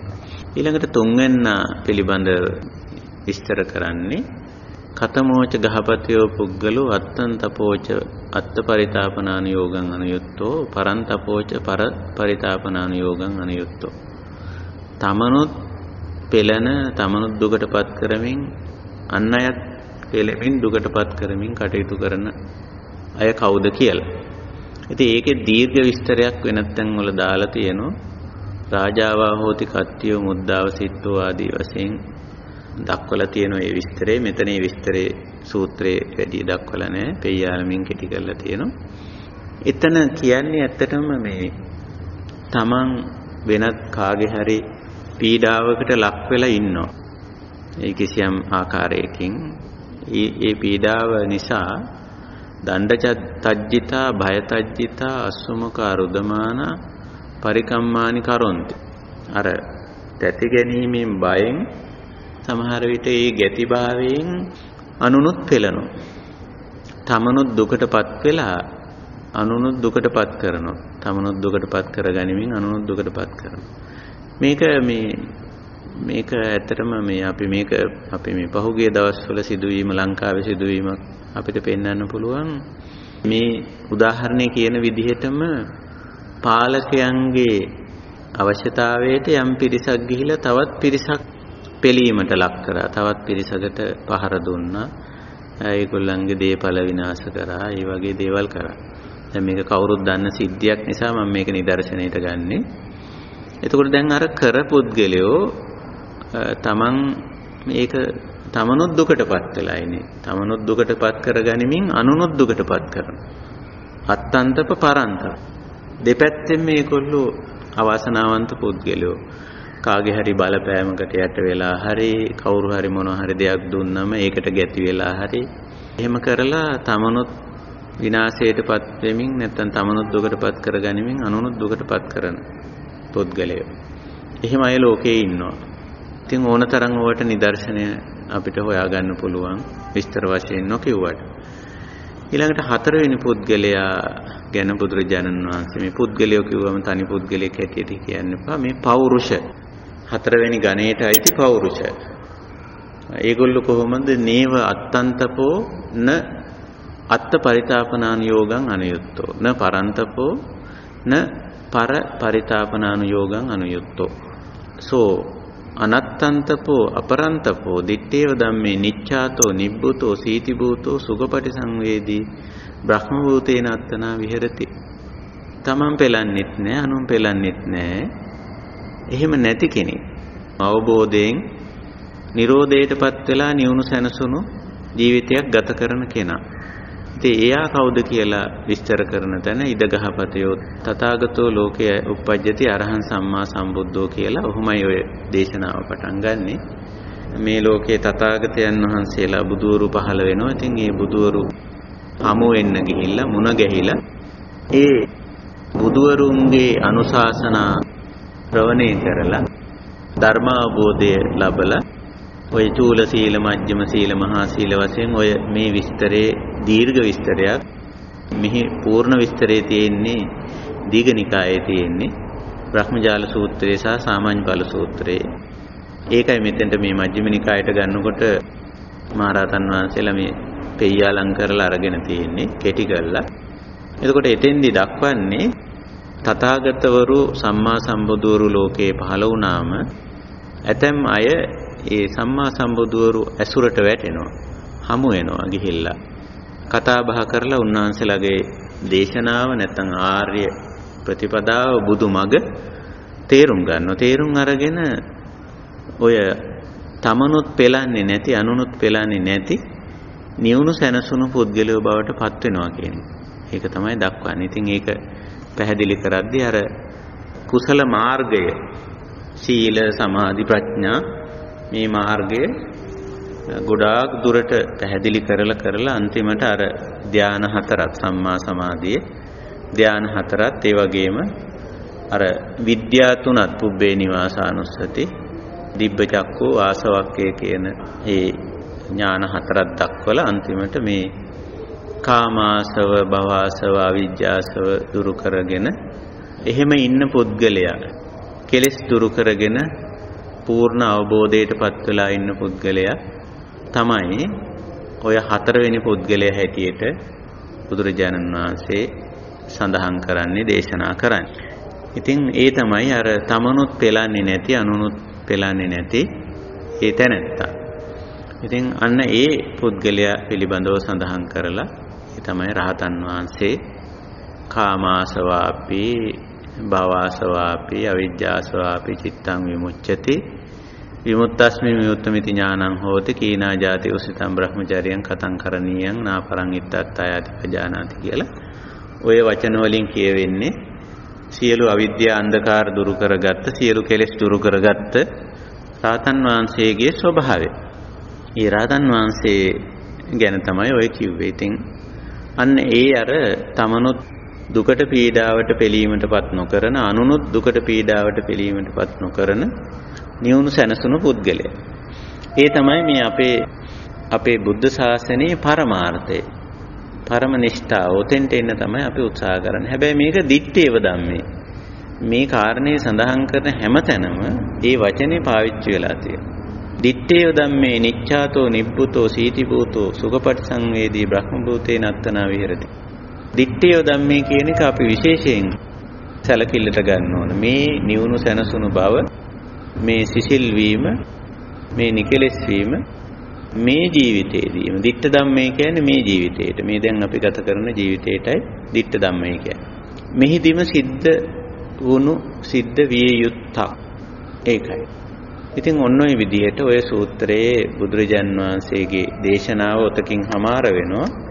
ඉතින් සූත්‍රයේ අග තියෙන්නේ එවං උත්තේ ශාලීයකා බ්‍රාහ්මණ ගහපතිකා භගවන්තං ඒතදෝචෝ ඉතින් මේ දීර්ඝ දේශනාව ඉස්සර වෙලාම පටන් ගත්තේ කොහොමද ඔයගොල්ලෝ අදහන පිළිගන්න කිසියම් මාර්ගෝපදේශකයෙක් ගුරුවරයෙක් ඉන්නවද කියලා එහෙම නැහැ කිව්වම එහෙනම් ඔයගොල්ලන්ට ගැළපෙන්නේ මේ අපන්නක ධර්මයේ මත පිළිහිටලා අපන්නක ප්‍රතිපදාවෙන් කටයුතු කරන්න කියලා. ඒ අපන්නක යමක් මධ්‍යස්තව යමක් දිහා බලන විදිහ නුවණින් මෙනෙහි කරන විදිහ පැහැදිලි කරා. ඉතින් එහෙම පැහැදිලි කරලා ඔන්න බුදුරජාන් වහන්සේ මේ විදියට නිදර්ශන වලින් දිගින් දිගට පැහැදිලි කරගෙන ඇවිල්ලා මේ කාරණේ දැක්. ඉතින් මේගොල්ලෝ මේ දේශනාවට බොහොම සතුටු වුණා. සතුටු වෙලා විතරක් නෙමෙයි අභික්ඛන්තම් භෝගෝතම අභික්ඛන්තම් භෝගෝතම ගෞතමයන් වහන්සේ හරිම හොඳයි හරිම අපූර්වයි කියලා තමන්ගේ ප්‍රසාදය පළ කරන්නේ. නික්කුජ්ජිතං වා උක්කුජ්ජේය පටිච්චන්නං වා විවරේය. යටි කුරු කරපු දෙයක් උඩු කුරු කළා වගේ වසා තිබුණු දෙයක් निराවරණය කළා වගේ. මූලහසවා මගං ආචික්කේය මග නොදැන සිටියයිට මග කියලා දුන්නා වගේ. අන්ධකාරේවා තේලපජ්ජෝතන් ධාරේය අඳුරින් ඉඳපු අයට තෙල් පහනක් දැල්ලුවා ආලෝකයක් දැල්ලුවා වගේ. අනේක පරයයන බෝතා ගෝතමේන ධම්මෝ පකාශිතෝ අපිට හුඟක් පැතිවලින් මේ කාරණේ කියලා දුන්නා ඔබ වහන්සේ. ඉතින් අපිට හරි සතුටුයි මේ ගැන. අපි එහෙමනම් ඒව මේතම් බෝතා ගෝතමේන අනේක පරියායන් ධම්මෝ පකාශිතෝ ඒතිමයම් භගවන්තං ගෝතමං සරණං ගච්ඡාම ධම්මං ච බික්ඛු සංඝං උපාසකං නෝ භවං ගෝතමෝ ධාරේතු අජ්ජතග්ගේ පානුපේතං සරණං ගතෝති දැන් මෙච්චර කාලයක් මේගොල්ලෝ එහෙම කිසියම් ශාස්ත්‍රවරයෙක් තෝරගෙන හිටියේ නැහැ. මේගොල්ලෝ තීරණයකට ආවා. එහෙමනම් ඔබ වහන්සේ හිතේ තියාගන්න අද ඉඳලා අපි ඔබ වහන්සේ ගුරුවරයා හැටියට ශාස්ත්‍රවරයා හැටියට අපේ මාර්ගෝපදේශකයන් වහන්සේ හැටියට අපි ඔබ වහන්සේව පිළිගන්නවා. බුදුන් සරණ යනවා කියන්නේ ඕක තමයි. ඊළඟට ඔබ වහන්සේ දේශනා කරන ධර්ම ප්‍රතිපදාව අපි පිළිගන්නු හරියි කියලා ධම්මං සරණං ගච්ඡාමි කියන්නේ. ඒ විතරක් නෙමෙයි. අපි ඔබ වහන්සේගේ ධර්ම ප්‍රතිපදාව අද ඉඳලා අනුගමනය කරනවා. උපාසක කියන්නේ යන්නේ. උපාසකං නෝ භවං ගෝතමෝ ධාරේතු. ඔබ වහන්සේ මතක තියාගන්න අපි අද ඉඳලා ඔබ වහන්සේගේ ප්‍රතිපදාවට අනුව කටයුතු කරන අය කියලා. දිවි ඇතිතේ පානුපේතං කියලා ওই විදිහට මේ ශාලීයක බ්‍රාහ්මණ ගෘහපතියෝ අපන්නක ධර්මයක් තේරුම් අරගෙන ආර්ය ප්‍රතිපදාවක් තේරුම් අරගෙන නිවුණු සැනසුණු පුද්ගලයෙක් බවට පත් වෙන්නේ කෙසේද කියන එක අවබෝධ කරගෙන බුදුරජාණන් වහන්සේ ශාස්ත්‍රෝන් වහන්සේ හැටියට පිළිගත්තා. උන්වහන්සේගේ ධර්ම ප්‍රතිපදාව තමන් අනුගමනය කළ යුතු ධර්ම ප්‍රතිපදාව හැටියට පිළිගත්තා. ඒ වගේම මේ ධර්ම ප්‍රතිපදාව අනුගමනය කරන්න මේගොල්ලෝ තීරණය කරගත්තා. අපි අද ඉඳලා උපාසක උපාසක කියන එකේ අදහස යම්කිසි ප්‍රතිපත්තියකට එනවා කියන එකයි. එතකොට ආර්ය ප්‍රතිපදාවේ උපාසක කිව්වොත් එහෙනම් ඒකෙන් අදහස් කරන්නේ බුද්ධ ධම්ම සංඝ විශේෂයෙන් ධර්ම ප්‍රතිපදාවට එනවා කියන එක. උපාසක භාවය කියන්නේ උපාසනය වෙත පැමිණීම කියන එක. ඉතින් ශාලීයක බ්‍රාහ්මණ ගෘහපතියෝ මේ විදියට උපාසක භාවයට පැමිණියා. ඔහොමයි අපි ඔය කතා කරගෙන ආපු අපන්නක දේශනාව මජ්ක්‍ධිම නිකායේ මජ්ක්‍ධිම පඤ්ඤාසකයේ ගෘහපති වර්ගයේ අවසානයේදී තියෙන සූත්‍රය. හොඳයි අපි ওই සූත්‍රය උතනින් නිමා කරනවා ඉදිරි සාකච්ඡාවලට අපේ කල්යාණ මිත්‍රයන්ට සූත්‍ර යෝජනා කරලා එවන්න පුළුවන්. අපි මේ සූත්‍ර පදනම් කරගෙන මේ සාකච්ඡා කරන්න බලාපොරොත්තු වෙනවා හැම සතියෙම සඳුදා තමයි අපි සාමාන්‍යයෙන් සූත්‍ර සාකච්ඡාව කරන්නේ. හැම සතියෙම සිකුරාදා අපි කමඨහන් සාකච්ඡාව කරන. ওই සාකච්ඡා දෙක තමයි දැනට අපි නිවෙන මග මේ Skype හමුවෙන් කරන්නේ. ඒ සාකච්ඡා නිවෙන මග YouTube channel එකට ඇතුළත් කරලා තියෙනවා. චාමෙන් මහත්මිය ඒවා ඇතුළත් කරලා තියෙනවා. ඒවා හැම දිනාටම ශ්‍රවණය කරන්න පුළුවන්. හොඳයි. එහෙමනම් මෙතෙන් සිට අපි වෙනදා වගේ ධර්ම සාකච්ඡාවට යොමු වෙනවා. අද දවසේ මම විශේෂයෙන් වෙසක් සමය නිසා බෝසතාණන් වහන්සේගේ චතුසත්‍ය අවබෝධයේ බුද්ධත්වයේ පරිණිරවාණය උපත පිළිබඳව යම්කිසි අදහසකුත් ඉදිරිපත් කළා. ඒ වගේම චතුසත්‍ය න්‍යාය පිළිබඳව අපි යමක් කතා කළා. සූත්‍ර සූත්‍රයේ ඉතිරි කොටස අපන්නක සූත්‍රයේ ඉතිරි කොටස අපි ඉන්පස්සේ සාකච්ඡා කළා. හොඳයි අපි කැමති මෙතෙන් සිට අපේ කල්යාණ මිත්‍රයන්ට අපි ඊට අවකාශ ලබා දෙමු. වෙනද වගේම අපේ දහම් කරුණු ඉදිරිපත් කරන්න දහම් ගැටලු ඉදිරිපත් කරන්න මේ වගේ කාරණාවලට අපේ මේ දම් සභාව විවෘතයි අපි හැම දිනාටම ආරාධනා කරනවා මෙතෙන් සිට දම් සභාවට ධර්ම සාකච්ඡාවට එකතු වෙන්න කියලා. මම අතිස්සුවා තව කරු හරි අතොස්සල තියෙනවද දන්නේ නෑ. මේ මම ස්වාමීන් වහන්සේ මේ මේ ප්‍රශ්නයක් අහන්න කියලා කල්පනා කරගෙන හිටියේ අද මේකට සහභාගී වෙන්න කලින් ඉඳලම ඒ ඒ ප්‍රශ්නයට අදාළ කොටසක් මේ මේ සූත්‍රයේ කියවෙනවා මේ මේ සූත්‍රයේ කියවෙනවානේ මේ එක තැනක ඉදගහපතයෝ තථාගතෝ ලෝකේ උපජ්ජති අරහං සම්මා සම්බුද්ධෝ සෝ ඉමේ පංච නීවරණේ පහය චේතසෝ පක්ඛිලේසේ පඤ්ඤාය දුක්ඛලීකරණේ විවිච්ඡේව කාමේහි විවිච්ඡේව අකුසලේහි ධම්මේහි සවිතක්කං සවිචාරං විවේකයන් පීති සුඛං පටමඥාන ඔය විදියට මේ ධ්‍යාන හතරක් මෙතන සඳහන් වෙනවා මේක පරිච්ඡේදයක මෙතන මට ඇත්තටම අහන්න ඕන කාලෙ තිබුණේ මේ මේ ධ්‍යාන හතර ගැන පොඩි ප්‍රශ්නයක්. මේක ප්‍රායෝගිකව අපි එදිනදා ජීවිතේදී පාවිච්චි කරන්න උත්සාහ කරනවා නම් එහෙම උත්සාහයක මම ඉඳලා ඉන්න නිසා මම මේ මේ ප්‍රශ්නේ අහන්න කල්පනා කරුවේ මේ විවිච්ඡේද කාමයේ විවිච්ඡේද කුසලයේ දන්නේ කාරණා ටික උන්වහන්සේ මීට කලින් පැහැදිලි කරා නමුත් ඒක තවදුරටත් පැහැදිලි කරගන්න මට ප්‍රශ්නක් තියෙන නිසා මම මේ ප්‍රශ්නය අහන්නේ.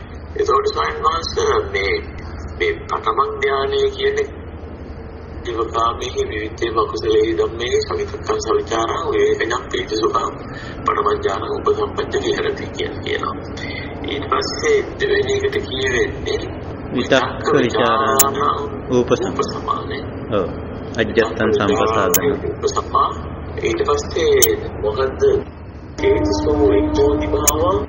අවිතක්කං අවිචාරං සමාධිජං පීතිසුඛං ဒ ුතියං එතකොට මම මේ කල්පනා කරුවේ දැන් අපි අපිට ඔය තමන් ධානය කියන தত্ত্বය මේ එදිනදා වැඩ කරන ගමන් යම් දෙයක් කරන ගමන් උනත් අපිට ඕක ওই වගේ තත්ත්වයක මනස පවත්ව ගන්න පුළුවන් කියලා අපට හැඟෙනවා.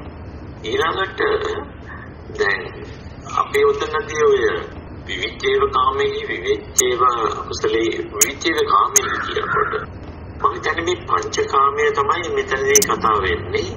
අසකරණ ආශ්‍රය දිය ශරීරය කියන පහ.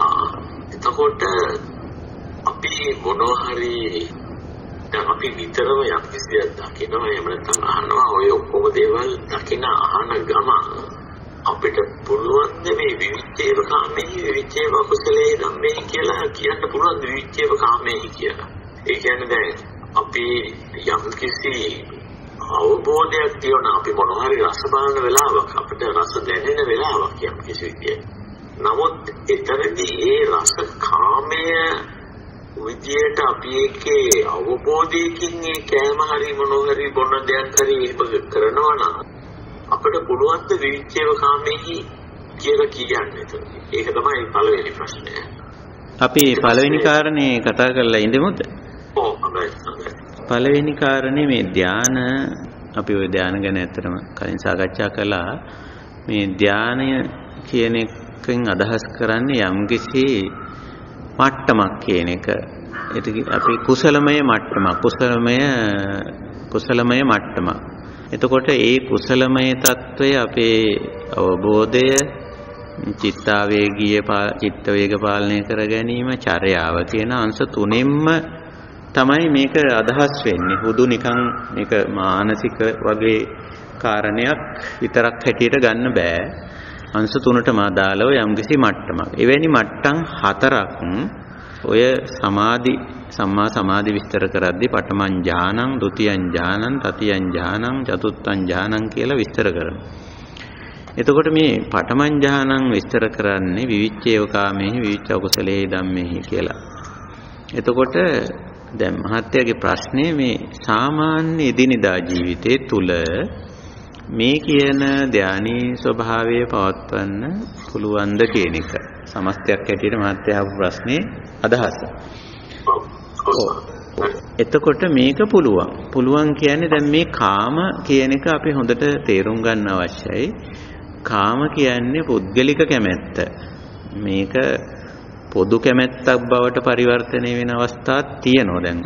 අපි පුද්ගලයෙක් කැමති වෙලා සමහර වෙලාවට මම නම් මේකට කැමතියි. අනිත් එක්කෙනාටත් සමහර වෙලාවට අපි මේ දේ විඳින්න සලස්වනවා. ඒ කියන්නේ දකින්න, අහන්න, විඳින්න, වටහා ගන්න සලස්සලා සලස්සපුවම සමහර විට එයාටත් ඒ කැමැත්ත ඇති වෙනවා. ඒ ඒ වස්තුව, ඒ ක්‍රියාව සම්බන්ධයෙන් කැමැත්තක් ඇති වෙනවා. එතකොට සමහර වෙලාවට මේ පුද්ගලික කැමැත්ත පොදු කැමැත්තක් බවට පරිවර්තනය අවස්ථා තියෙනවා.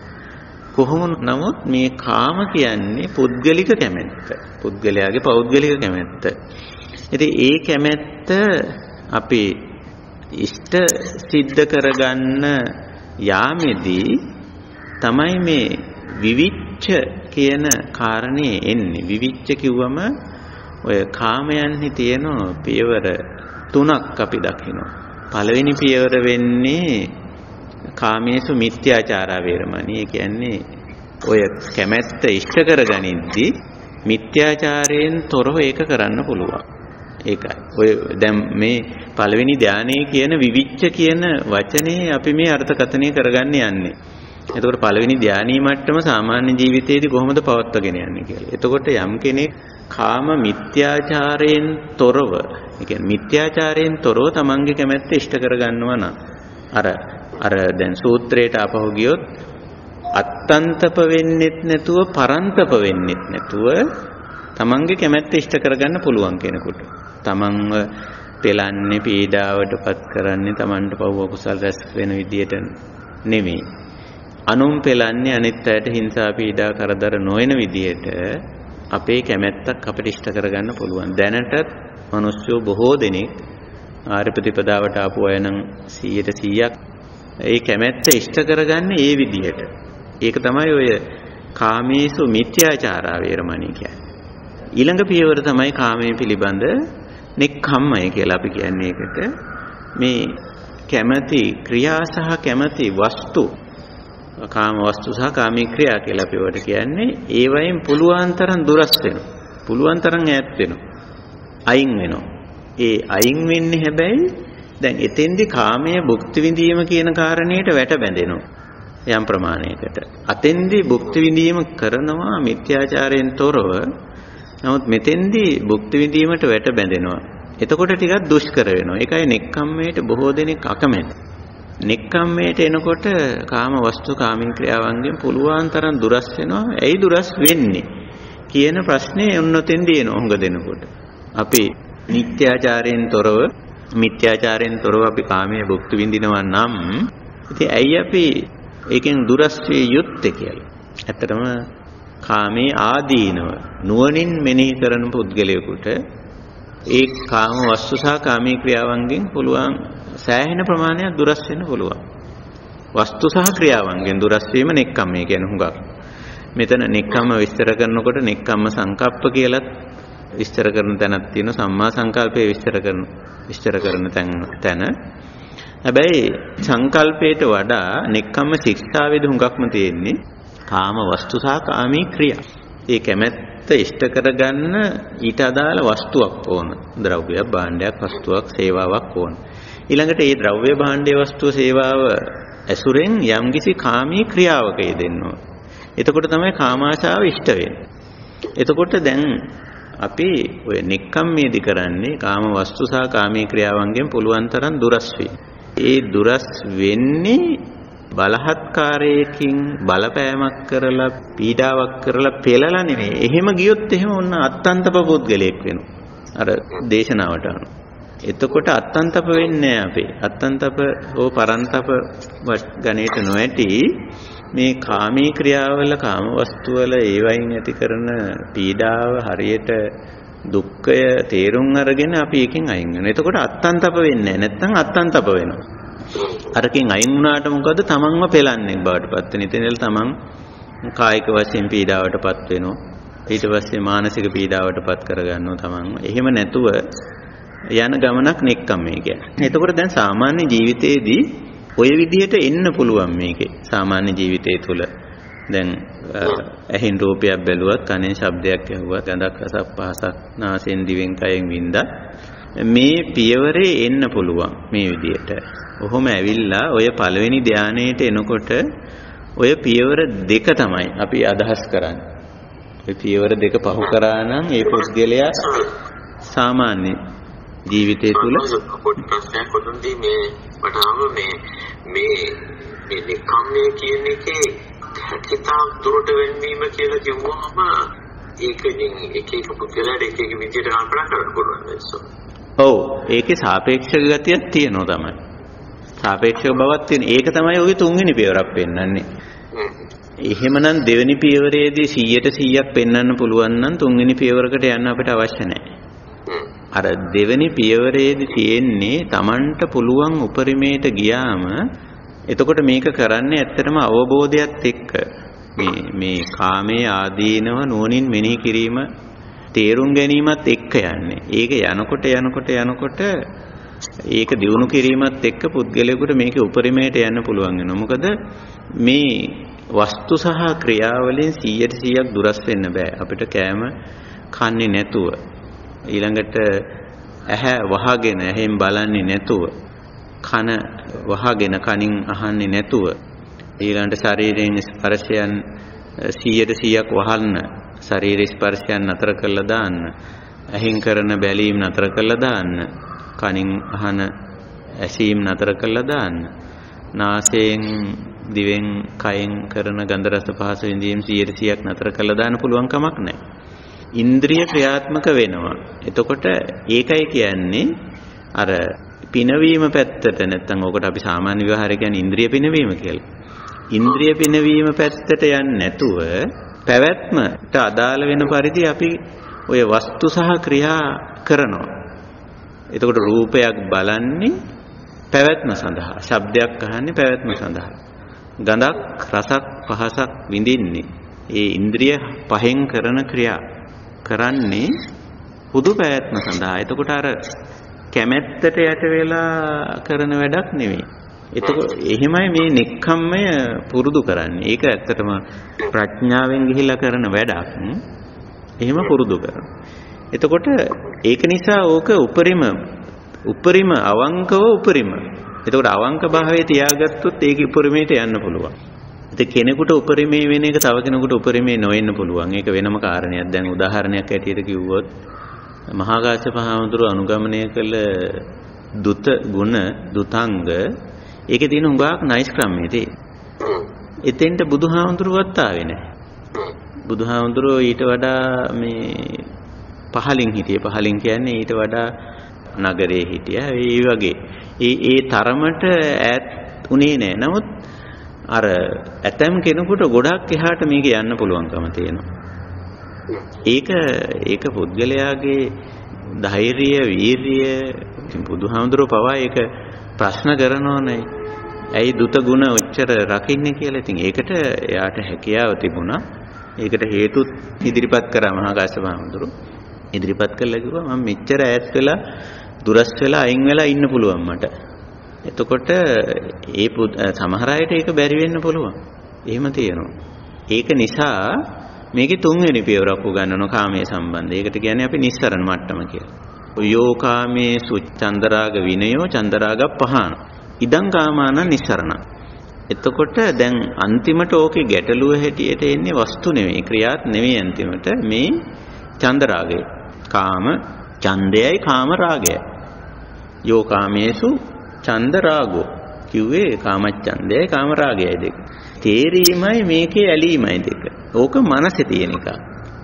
මනසෙන් තමයි අපි අරකට වැඩිය මේක හොඳයි කියලා තෝරන්නේ. අර ක්‍රියාවට වැඩිය මේ ක්‍රියාව හොඳයි කියලා මනසින් තෝරන්නේ. එතකොට මේ මෙන්න මේ තේරීම සහ ඇලීම ඒක මානසික කාර්ය. ඕක ඔය ගැටලුව ලිහුවම හැබැයි මේවා හුඟක්ම ප්‍රඥාවෙන් කරන වැඩ. ඒක ලිහුවම ඇත්තටම මේ ප්‍රශ්නේ අවසන්. එතකොට විවිච්ඡයි කාමී. ඔය දෙවෙනි ධානයේට එනකොට තමයි ඔය අපි නිස්සරණය ගැන තමයි ඔය දෙවෙනි ධානයේදී කියන්නේ. විතක්ක ਵਿਚාරාණං රූපසමා කියන්නේ අර කාම විතර්ක අකුසල විතර්ක. ඒ කියන්නේ මනසේ තියෙන කොටස ඒක. ඒක තමයි ටිකක් ගලවන්න අමාරු. ඒක ගලවන්න නැත්නම් ඒක දුරු කරන්න, ඒක නිරෝධ කරන්න අර කාම මිත්‍යාචාරයෙන් අයින් වෙලා නික්කම්මයටත් එන්න ඕන. නික්කම්මයට ආපුවාම ඇත්තටම Taman ආපු ගමන හුඟක් පේන ඔය පුද්ගලයාට. මම ඉස්සර වෙලා කාම මිත්‍යාචාරයේ හිටියා. ඊට පස්සේ මං කාම මිත්‍යාචාරයෙන් අයින් වුණා. අයින් වෙලා මම බොහොම ශිෂ්ට විදිහට කාමයේ භුක්ති විඳා. ඒ භුක්ති විඳිනකොටත් එයා හරි මාර්ගයේ ආවනම් එයාට පේනවා යහපත් විදිහට කාමයේ භුක්ති විඳත් ඒ කාමයේ තුල අර අර තියෙන මේ කාම දාහය, කාම පිපාසය, කාම පරිලාහය ඔය ඔය ගැටලු ටික තියෙනවා කියලා. අත්දැකීමෙන්ම දන්නවා. ඒ අත්දැකීම තුලින් තමයි යා නික්කම්මයට එන්නේ. ඒක තමයි ආදීනව කියන්නේ. දකින්නවා කියන්නේ ඒක තමයි. එහෙම එන එහෙම ඒ ඒ පාත්තකේ ඒ මාර්ගයේ ඒ වැඩපිළිවෙලේ ඒ පටිපදාවේ ආපු කෙනෙකුට නිස්සරණේ අමාරු නෑ. මොකද දැන් කාමයේ යථා ස්වභාවයේ තේරුම් ගත්ත කෙනෙකුට නිස්සරණේ අමාරු නෑ. හැබැයි ඒක තේරුම් නොගත්ත කෙනෙකුට ඔය කාම ඡන්දයයි කාම රාගයයි දුරු කරන එක ලේසි නෑ. ඒක නිසා පළවෙනි පියවර විවිච්ඡේව කාමේහි කියනකොට අපි අදහස් කරන්නේ අර මුල් පියවර දෙක. කාම මිත්‍යාචාරයෙන් තොරවීමයි නික්කම්මයයි දෙක. දෙවෙනි ධානයේදී විතක්ක ਵਿਚාරණ උපසම අවිතක්කං අවිචාරං කිව්වම අර කාම විතර්ක අකුසල විතර්ක. ඒක බැහැර කරපු අවස්ථාව බැහැර කරන අවස්ථාව. දෙවෙනි මට්ටම බැහැර කරපු අවස්ථාව. උපසම්පජ්ජ විහෙරති කිව්වොත් ဒ ුතියං ඥානං. එහෙනම් ඒක බැහැර කරගෙන ඉන්න අවස්ථාව. ඒකයි තියෙන්නේ. ඕක ප්‍රායෝගික සාමාන්‍ය ජීවිතයේ තමයි කල යුත්තක් වෙන්නේ. ආයි දැන් කාමභෝගී ජීවිතයක් ඇතුළේදී තමයි පුද්ගලයා කාම මිත්‍යාචාරයෙන් තොර වෙන්න ඕන. ඒ කියන්නේ කාම මිත්‍යාචාරයෙන් ඉවත් වෙන්න ඕන. එතනින් ඒකෙදි තමයි නෙක්ඛම්මයට යන්න ඕන. ඒකෙන්ම තමයි නිස්සරණයට යන්න ඕන. මේක කාමානං නිස්සරණන්නේ. කාම නෙක්ඛම්මනේ කාම මිත්‍යාචාරයෙන් එහෙනම් කාමයෙන් තොරව මේ මේ දේවල් කරන්නේ නැහැ. කාමයේ තුල තමයි. Tamange කැමැත්ත තමයි ටික ටික පාලනය කරගෙන මෙල්ල කරගෙන ප්‍රඥාව දියුණු කරගෙන අන්තිමට ඒ කාමී කාම ඡන්දයයි කාම රාගයයි දෙකෙන් සම්පූර්ණ අයින් වෙන්නේ. මේක සාමාන්‍ය ජීවිතයේ තුල. එදිනෙදා ජීවිතයේ තුල කෙරෙන වැඩක් ඕක. ඔව් ඒක ස්වාමීන් මෙතන මේ විස්තරණය කියලා කිව්වහම ඒක මේ ඒක යම් කිසි කාල සීමාවකට తాවකාලිකව විස්තරණයක් වගේ දෙයක් නැත්නම් මේ පූර්ණ අවබෝධය ඇතිව අර මේ ඒ නැවත කාමච්ඡන්දය නොවන මට්ටමේ දැන් ඔය අනාගාමී වගේ මට්ටමක තියෙන එකක්ද නිස්සරණය කියන්නේ නිස්සරණ කියන එකටම තමයි අපි නිරෝධ කියන්නේ. එතකොට මේක හාත්පසින් තේරුම් අරන් තියෙන කාමයේ. කාමයේ කියන්නේ මොකද්ද? ඒක ඇති වෙන්නේ ඇයි? ඒකේ ආදීනව මේ ඔක්කොම තේරුම් අරන් තියෙන්නේ. එතකොට මේකේ නිස්සාර ගතිය අවබෝධ වෙලා තියෙන. නිස්සාර කියන්නේ මේක අපි කරත් නැවත නැවත කරත් ආය ආය කරත් ආය ආය බැලුවත් ආය ආය ඇහුවත් ආය ආය ගන්ධ රස පාස වශයෙන් වින්දත් මේකේ තියෙන එක්තරා වෙහසක් එක්තරා ආකාරයක මේ නිකන් මේක හොඳට තේරිලා තියෙනවා. ඒක ඒක තේරෙනවා. ඔව්. තුගානාවක් තිස්සේ මේව දෙයක්කට සම්බන්ධ වුණා නම් තව ඉස්සරහට තව අවුරුදු ගණනාවක් මේක මේ විදිහට කෙරුවත් ඕක ඔච්චරම තමයි කියන එක දැන් ඉතින් පොඩ පොඩ අපිට තේරෙනවා. ඔව්. ඉතින් ඒ තේරුම් ගැනීම යටතේ තේරුම් ගැනීමට අනුව ජීවනචර්යාවේ වෙනසක් වෙලා තියෙනවනේ. දැන් අපිට මේවා පස්සේ පන්නන්න උවමනාවක් නැහැ. එලවන්න උවමනාවක් නැහැ. ඒක පන්නන්නේ නැහනේ, එලවන්නේ නැහනේ. දැන් ඔය කියන යම් යමක් බලනවද, යමක් අහනවද, යමක් විඳිනවද ඒ හුදු පැවැත්මට සීමා වෙලා තියෙනවනම් අන්න එතෙන්ට ඇවිල්ලා. නිස්සරණයට ඇවිල්ලා. එතකොට කාමානං නිස්සරණ. නිස්සරණ කියන එක කාම කියන වචනයෙන් තොරව පාවිච්චි කරන්න බෑ. පාවිච්චි කරොත් නිස්සරණ කියන වචනේ අර්ථ ශූන්‍යයි. ඒක නිසා මේක කාමානං නිස්සරණ. එතකොට දැන් පුද්ගලයාගේ කැමැත්ත තියෙනවා යම් යම් දේවල් වලට. හැබැයි ඒ කැමැත්ත සම්පූර්ණයෙන්ම පාලනය වෙලා තියෙන. පාලනය කරගෙන තියෙන. යම් කිසි කැමැත්තක් 100ට 100ක් ඕනම වෙලාවක හිතින් අයින් කරලා දාන්නත් පුළුවන්. ඒක ඕනනම් මිත්‍යාචාරයෙන් තොරව විඳින්නත් පුළුවන්. ඒක සීමා කරන්න පුළුවන්, අඩු කරන්න පුළුවන්, අතහැරලම දාන්නත් පුළුවන්.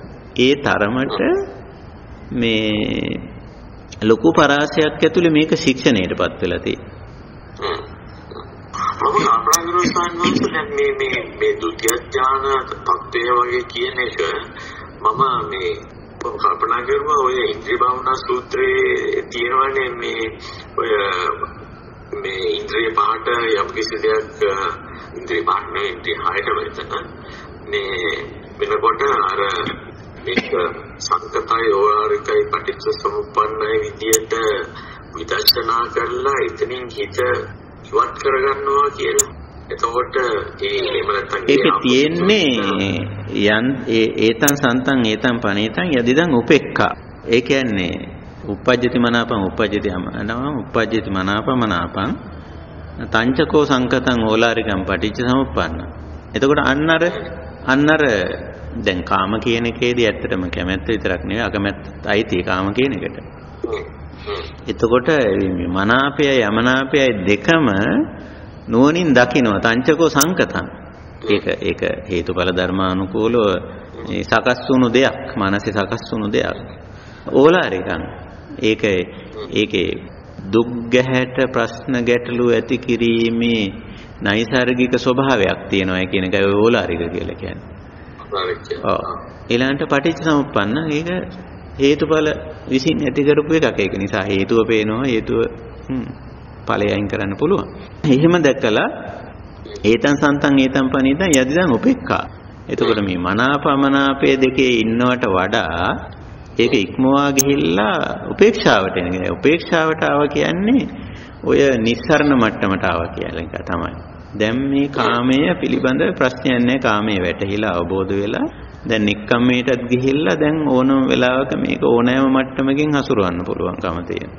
දැන් මම මේකට නිදර්ශනයක් හැටියට කියන්නේ බුදුරජාණන් වහන්සේට වාඩි වෙන්න ඕන වුණොත් යම් වෙලාවක උන්වහන්සේට ඒ වෙලාවේ කවුරු හරි දීලා තියෙන්නේ පාණ්ඩුගම්බල සෛලාසනේ නම් උන්වහන්සේ ඒකේ වාඩි වෙනවා. එහෙමනේ කියන විදිහට චක්‍ර දේවේන්ද්‍රයාගේ කළුනේ විශ්වයේ තියෙන හොඳ මේක. එහෙ ගියාම උන්වහන්සේ ඒකේ වාඩි වෙනවා. සමහර වෙලාවට ගලක් උඩ වාඩි වෙලා ඉන්න උන්වහන්සේ. මුලක් උඩ ගලක් උඩ වාඩි වෙලා ඉන්නේ. ඔය තමන්ගේ සංඝාටිය ඒකත් නැතුව එහෙම තැනකත් ඉන්නවා. දැන් එතකොට වාඩි වීමේ අවශ්‍යතාවය වාඩි වීමේ කැමැත්ත ඇති වුණා වාඩි වුණා. හැබැයි ඒ වාඩි වීමට උපකාරී වෙච්ච භාණ්ඩය හෝ සේවාව පිළිබඳ විශේෂ මනාපයක් හෝ අමනාපයක් නැහැ ඒක ඉක්මවල එතකොට ඒ ਬਾඩි වෙන්න Tamanට ලැබුණේ පාණ්ඩුගම්බල සෛලාසනේද නැත්නම් මේ ගහක මුලක්ද ගලක්ද කියන එක පිළිබඳ ගැටලුවක් එතන පුද්ගලයාට ඇති වෙන්නේ නැහැ. පුද්ගලයා ඒක තුල පවතින්නේ ඒ දෙකම ගැන මධ්‍යස්ථයි. උපේක්ෂා කියන්නේ ඒකයි. එතකොට එරවර්ස් ගන්නවා දැන් මේ විතක්ක අභිචාරම් කියන தত্ত্বය දැන් එහෙම ඔය ඉන්ද්‍රිය භාවනා සූත්‍රයේ තියෙන විදිහට යම් කිසි විදර්ශනාවකින් ඒක ඒ සිතුවිල්ල ඉවත් කරගන්නවා කියන එකට වඩා ඉදිරියට ගියපුවක් වෙන්න ඕන නේද? ඔව් සිතිවිල්ල ඉවත් ඔව් ඉවත් කරගන්නවා ඔව් ඉවත් කරගන්නවා මම ඊට අර Nirodha ගැන කියද්දි කිව්වේ සමහර විට ඉවත් කර ගැනීම වෙන්නත් පුළුවන්. නෑ ඒ අදහස මං ඉවත් සම්පූර්ණ ඉවත් කරගන්නවා. මේ වෙලාවේ වාඩි වෙන්න තියෙන අදහස මං අයින් කරගන්න වෙන්නත් පුළුවන්. නමුත් වාඩි වෙනවා වෙන්නත් පුළුවන්. ඒ වාඩි වීම Tamanට අනුන්ට අයහපතක් නොවන විදිහට ඒක ඉඳගත්ත වෙන්න පුළුවන්. මම මේ කියන්නේ අර ගත්ත නිදර්ශනයම. සමහරට මේ පුද්ගලයාට පුළුවන් මේ අදහස සම්පූර්ණ මේකෙන් ඉවත් වෙන්නත් පුළුවන්. එහෙම නැත්නම් ඒ අදහස පාලනය කරගන්න පුළුවන්. ඒ අදහස වෙනස් කරගන්න පුළුවන්. නෑ මං එතන නෙමෙයි මෙතන ඉඳගෙන. ඒ කිසිම ක්‍රියාවක නෑ අර අත්තන්තප ගතියක්. පරන්තප ගතියක් නෑ. නේව අත්තන්තප න පරන්තප. කිසිම ආකාරයෙන් කිසිම පැත්තකට අයහපතක් නොවන විදිහට ඒ පුද්ගලයා ඒ ක්‍රියාවේ යෙදෙනවා වෙන්නත් පුළුවන්. නැත්නම් නොයෙදෙනවා වෙන්නත් පුළුවන්. ඒක අතහැරලම දානවා වෙන්නත් පුළුවන්. අතහැරලා දැම්මොත් කොහොමටත් අත්තන්තපත් පරන්තපත් වෙන්නේ නැහැනේ. එතකොට ඒ අතහැර දැමීම වෙන්න පුළුවන් සමහර විට. එහෙම නැත්නම් ඒ ක්‍රියාව කරනවා වෙන්න පුළුවන් කරනකොට හැබැයි අත්තන්තප පරන්තප නොවේ නේවත්තන්තප න පරන්තප උපේක්ෂාව මනසේ තියෙන. එතකොට එතන සම්පූර්ණ නිවුණු සැනසුණු පුද්ගලයෙක්. මෙන්න මේ වගේ ස්වභාවයක්. මේක අපිට ඇත්තටම ප්‍රායෝගිකව කරලා බලන්න පුළුවන්. මේක මේ අපි කියන ඒකත් ප්‍රායෝගිකව කරන එක තමයි හිතන්නේ අපිට මේ මේකෙන් ප්‍රතිඵලයක් අරගන්න තියෙන හොඳ විදිය මේකේ. ඔව් ඔව්. තෙරුවන් සරණයි. මම කියන්න හිතියේ මේ අපේ සේරම කල්යාණ මිත්‍රයන්ට අලුත් ඒගොල්ලන් වූ පරණ ඒගොල්ලන්ටයි මේ නිවන මග වෙබ්සයිට් එකේ තියෙන සේරම දේශනා ආපහු මුලින් ඉඳලා අහන්න කියලා ස්වාමීන් වහන්සේ. මොකද මුල තියෙනවා? විශ්ව ආචාර්ය ධර්ම කියලා දේශනා වගේක්. ඒක බොහෝම අනර්ගයි. මේ ඒක අහගත්තොත් මුගක්ම ධර්මය අවබෝධ වෙනවා. එතන කියලා තියෙනවා පරිසර පරිසරණය දුෂ්කරණය කරන විදි කරන හැටි සිතින් කයෙන් වචනෙන් පවා.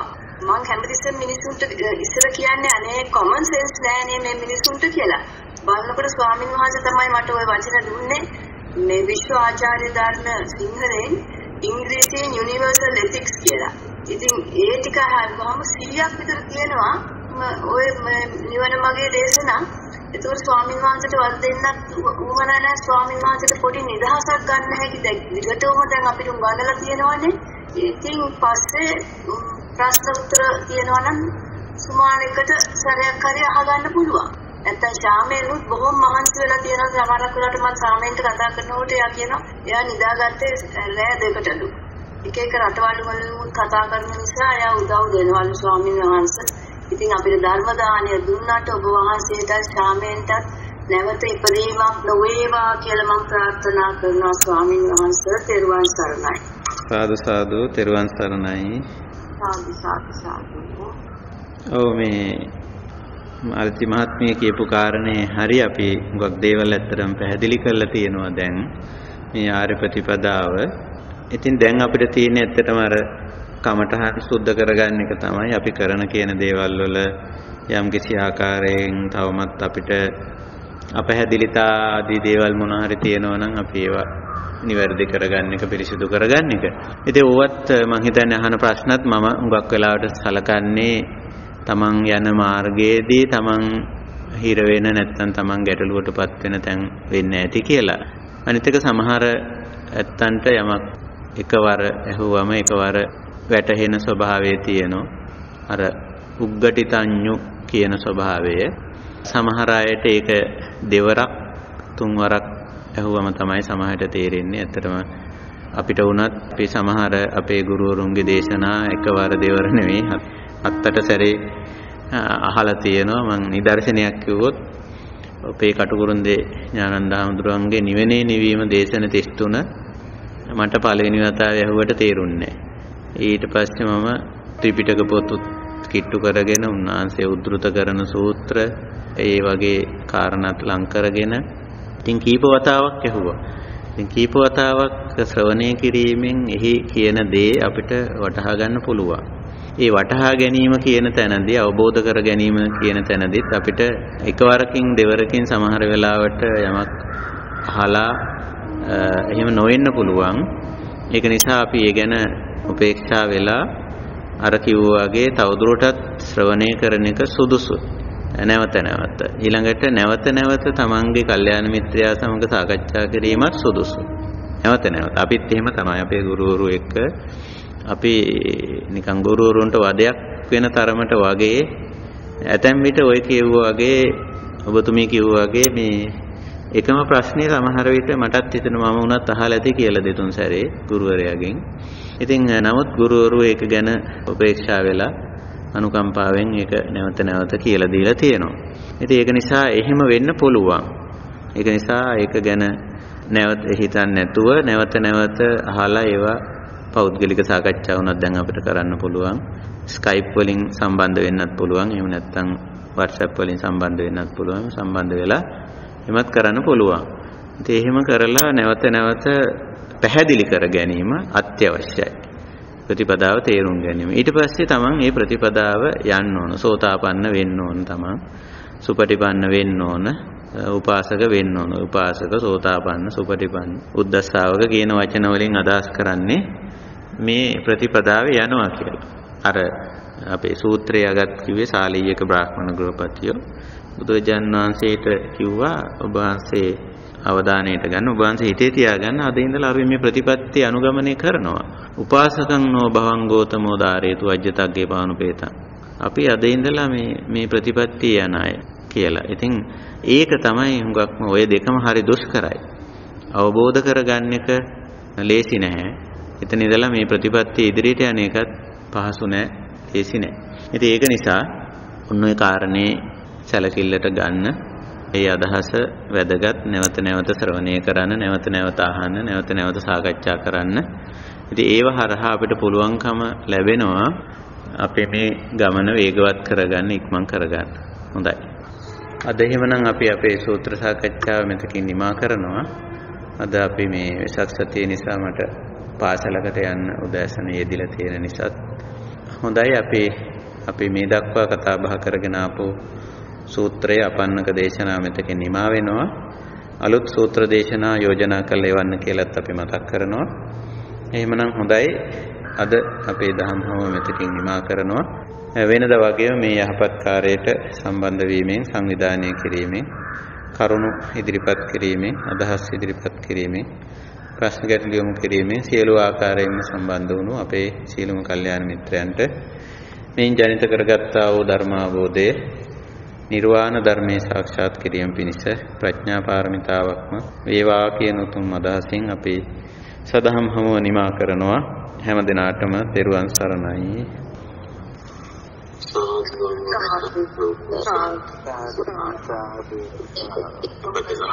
තෙරුවන් සරණයි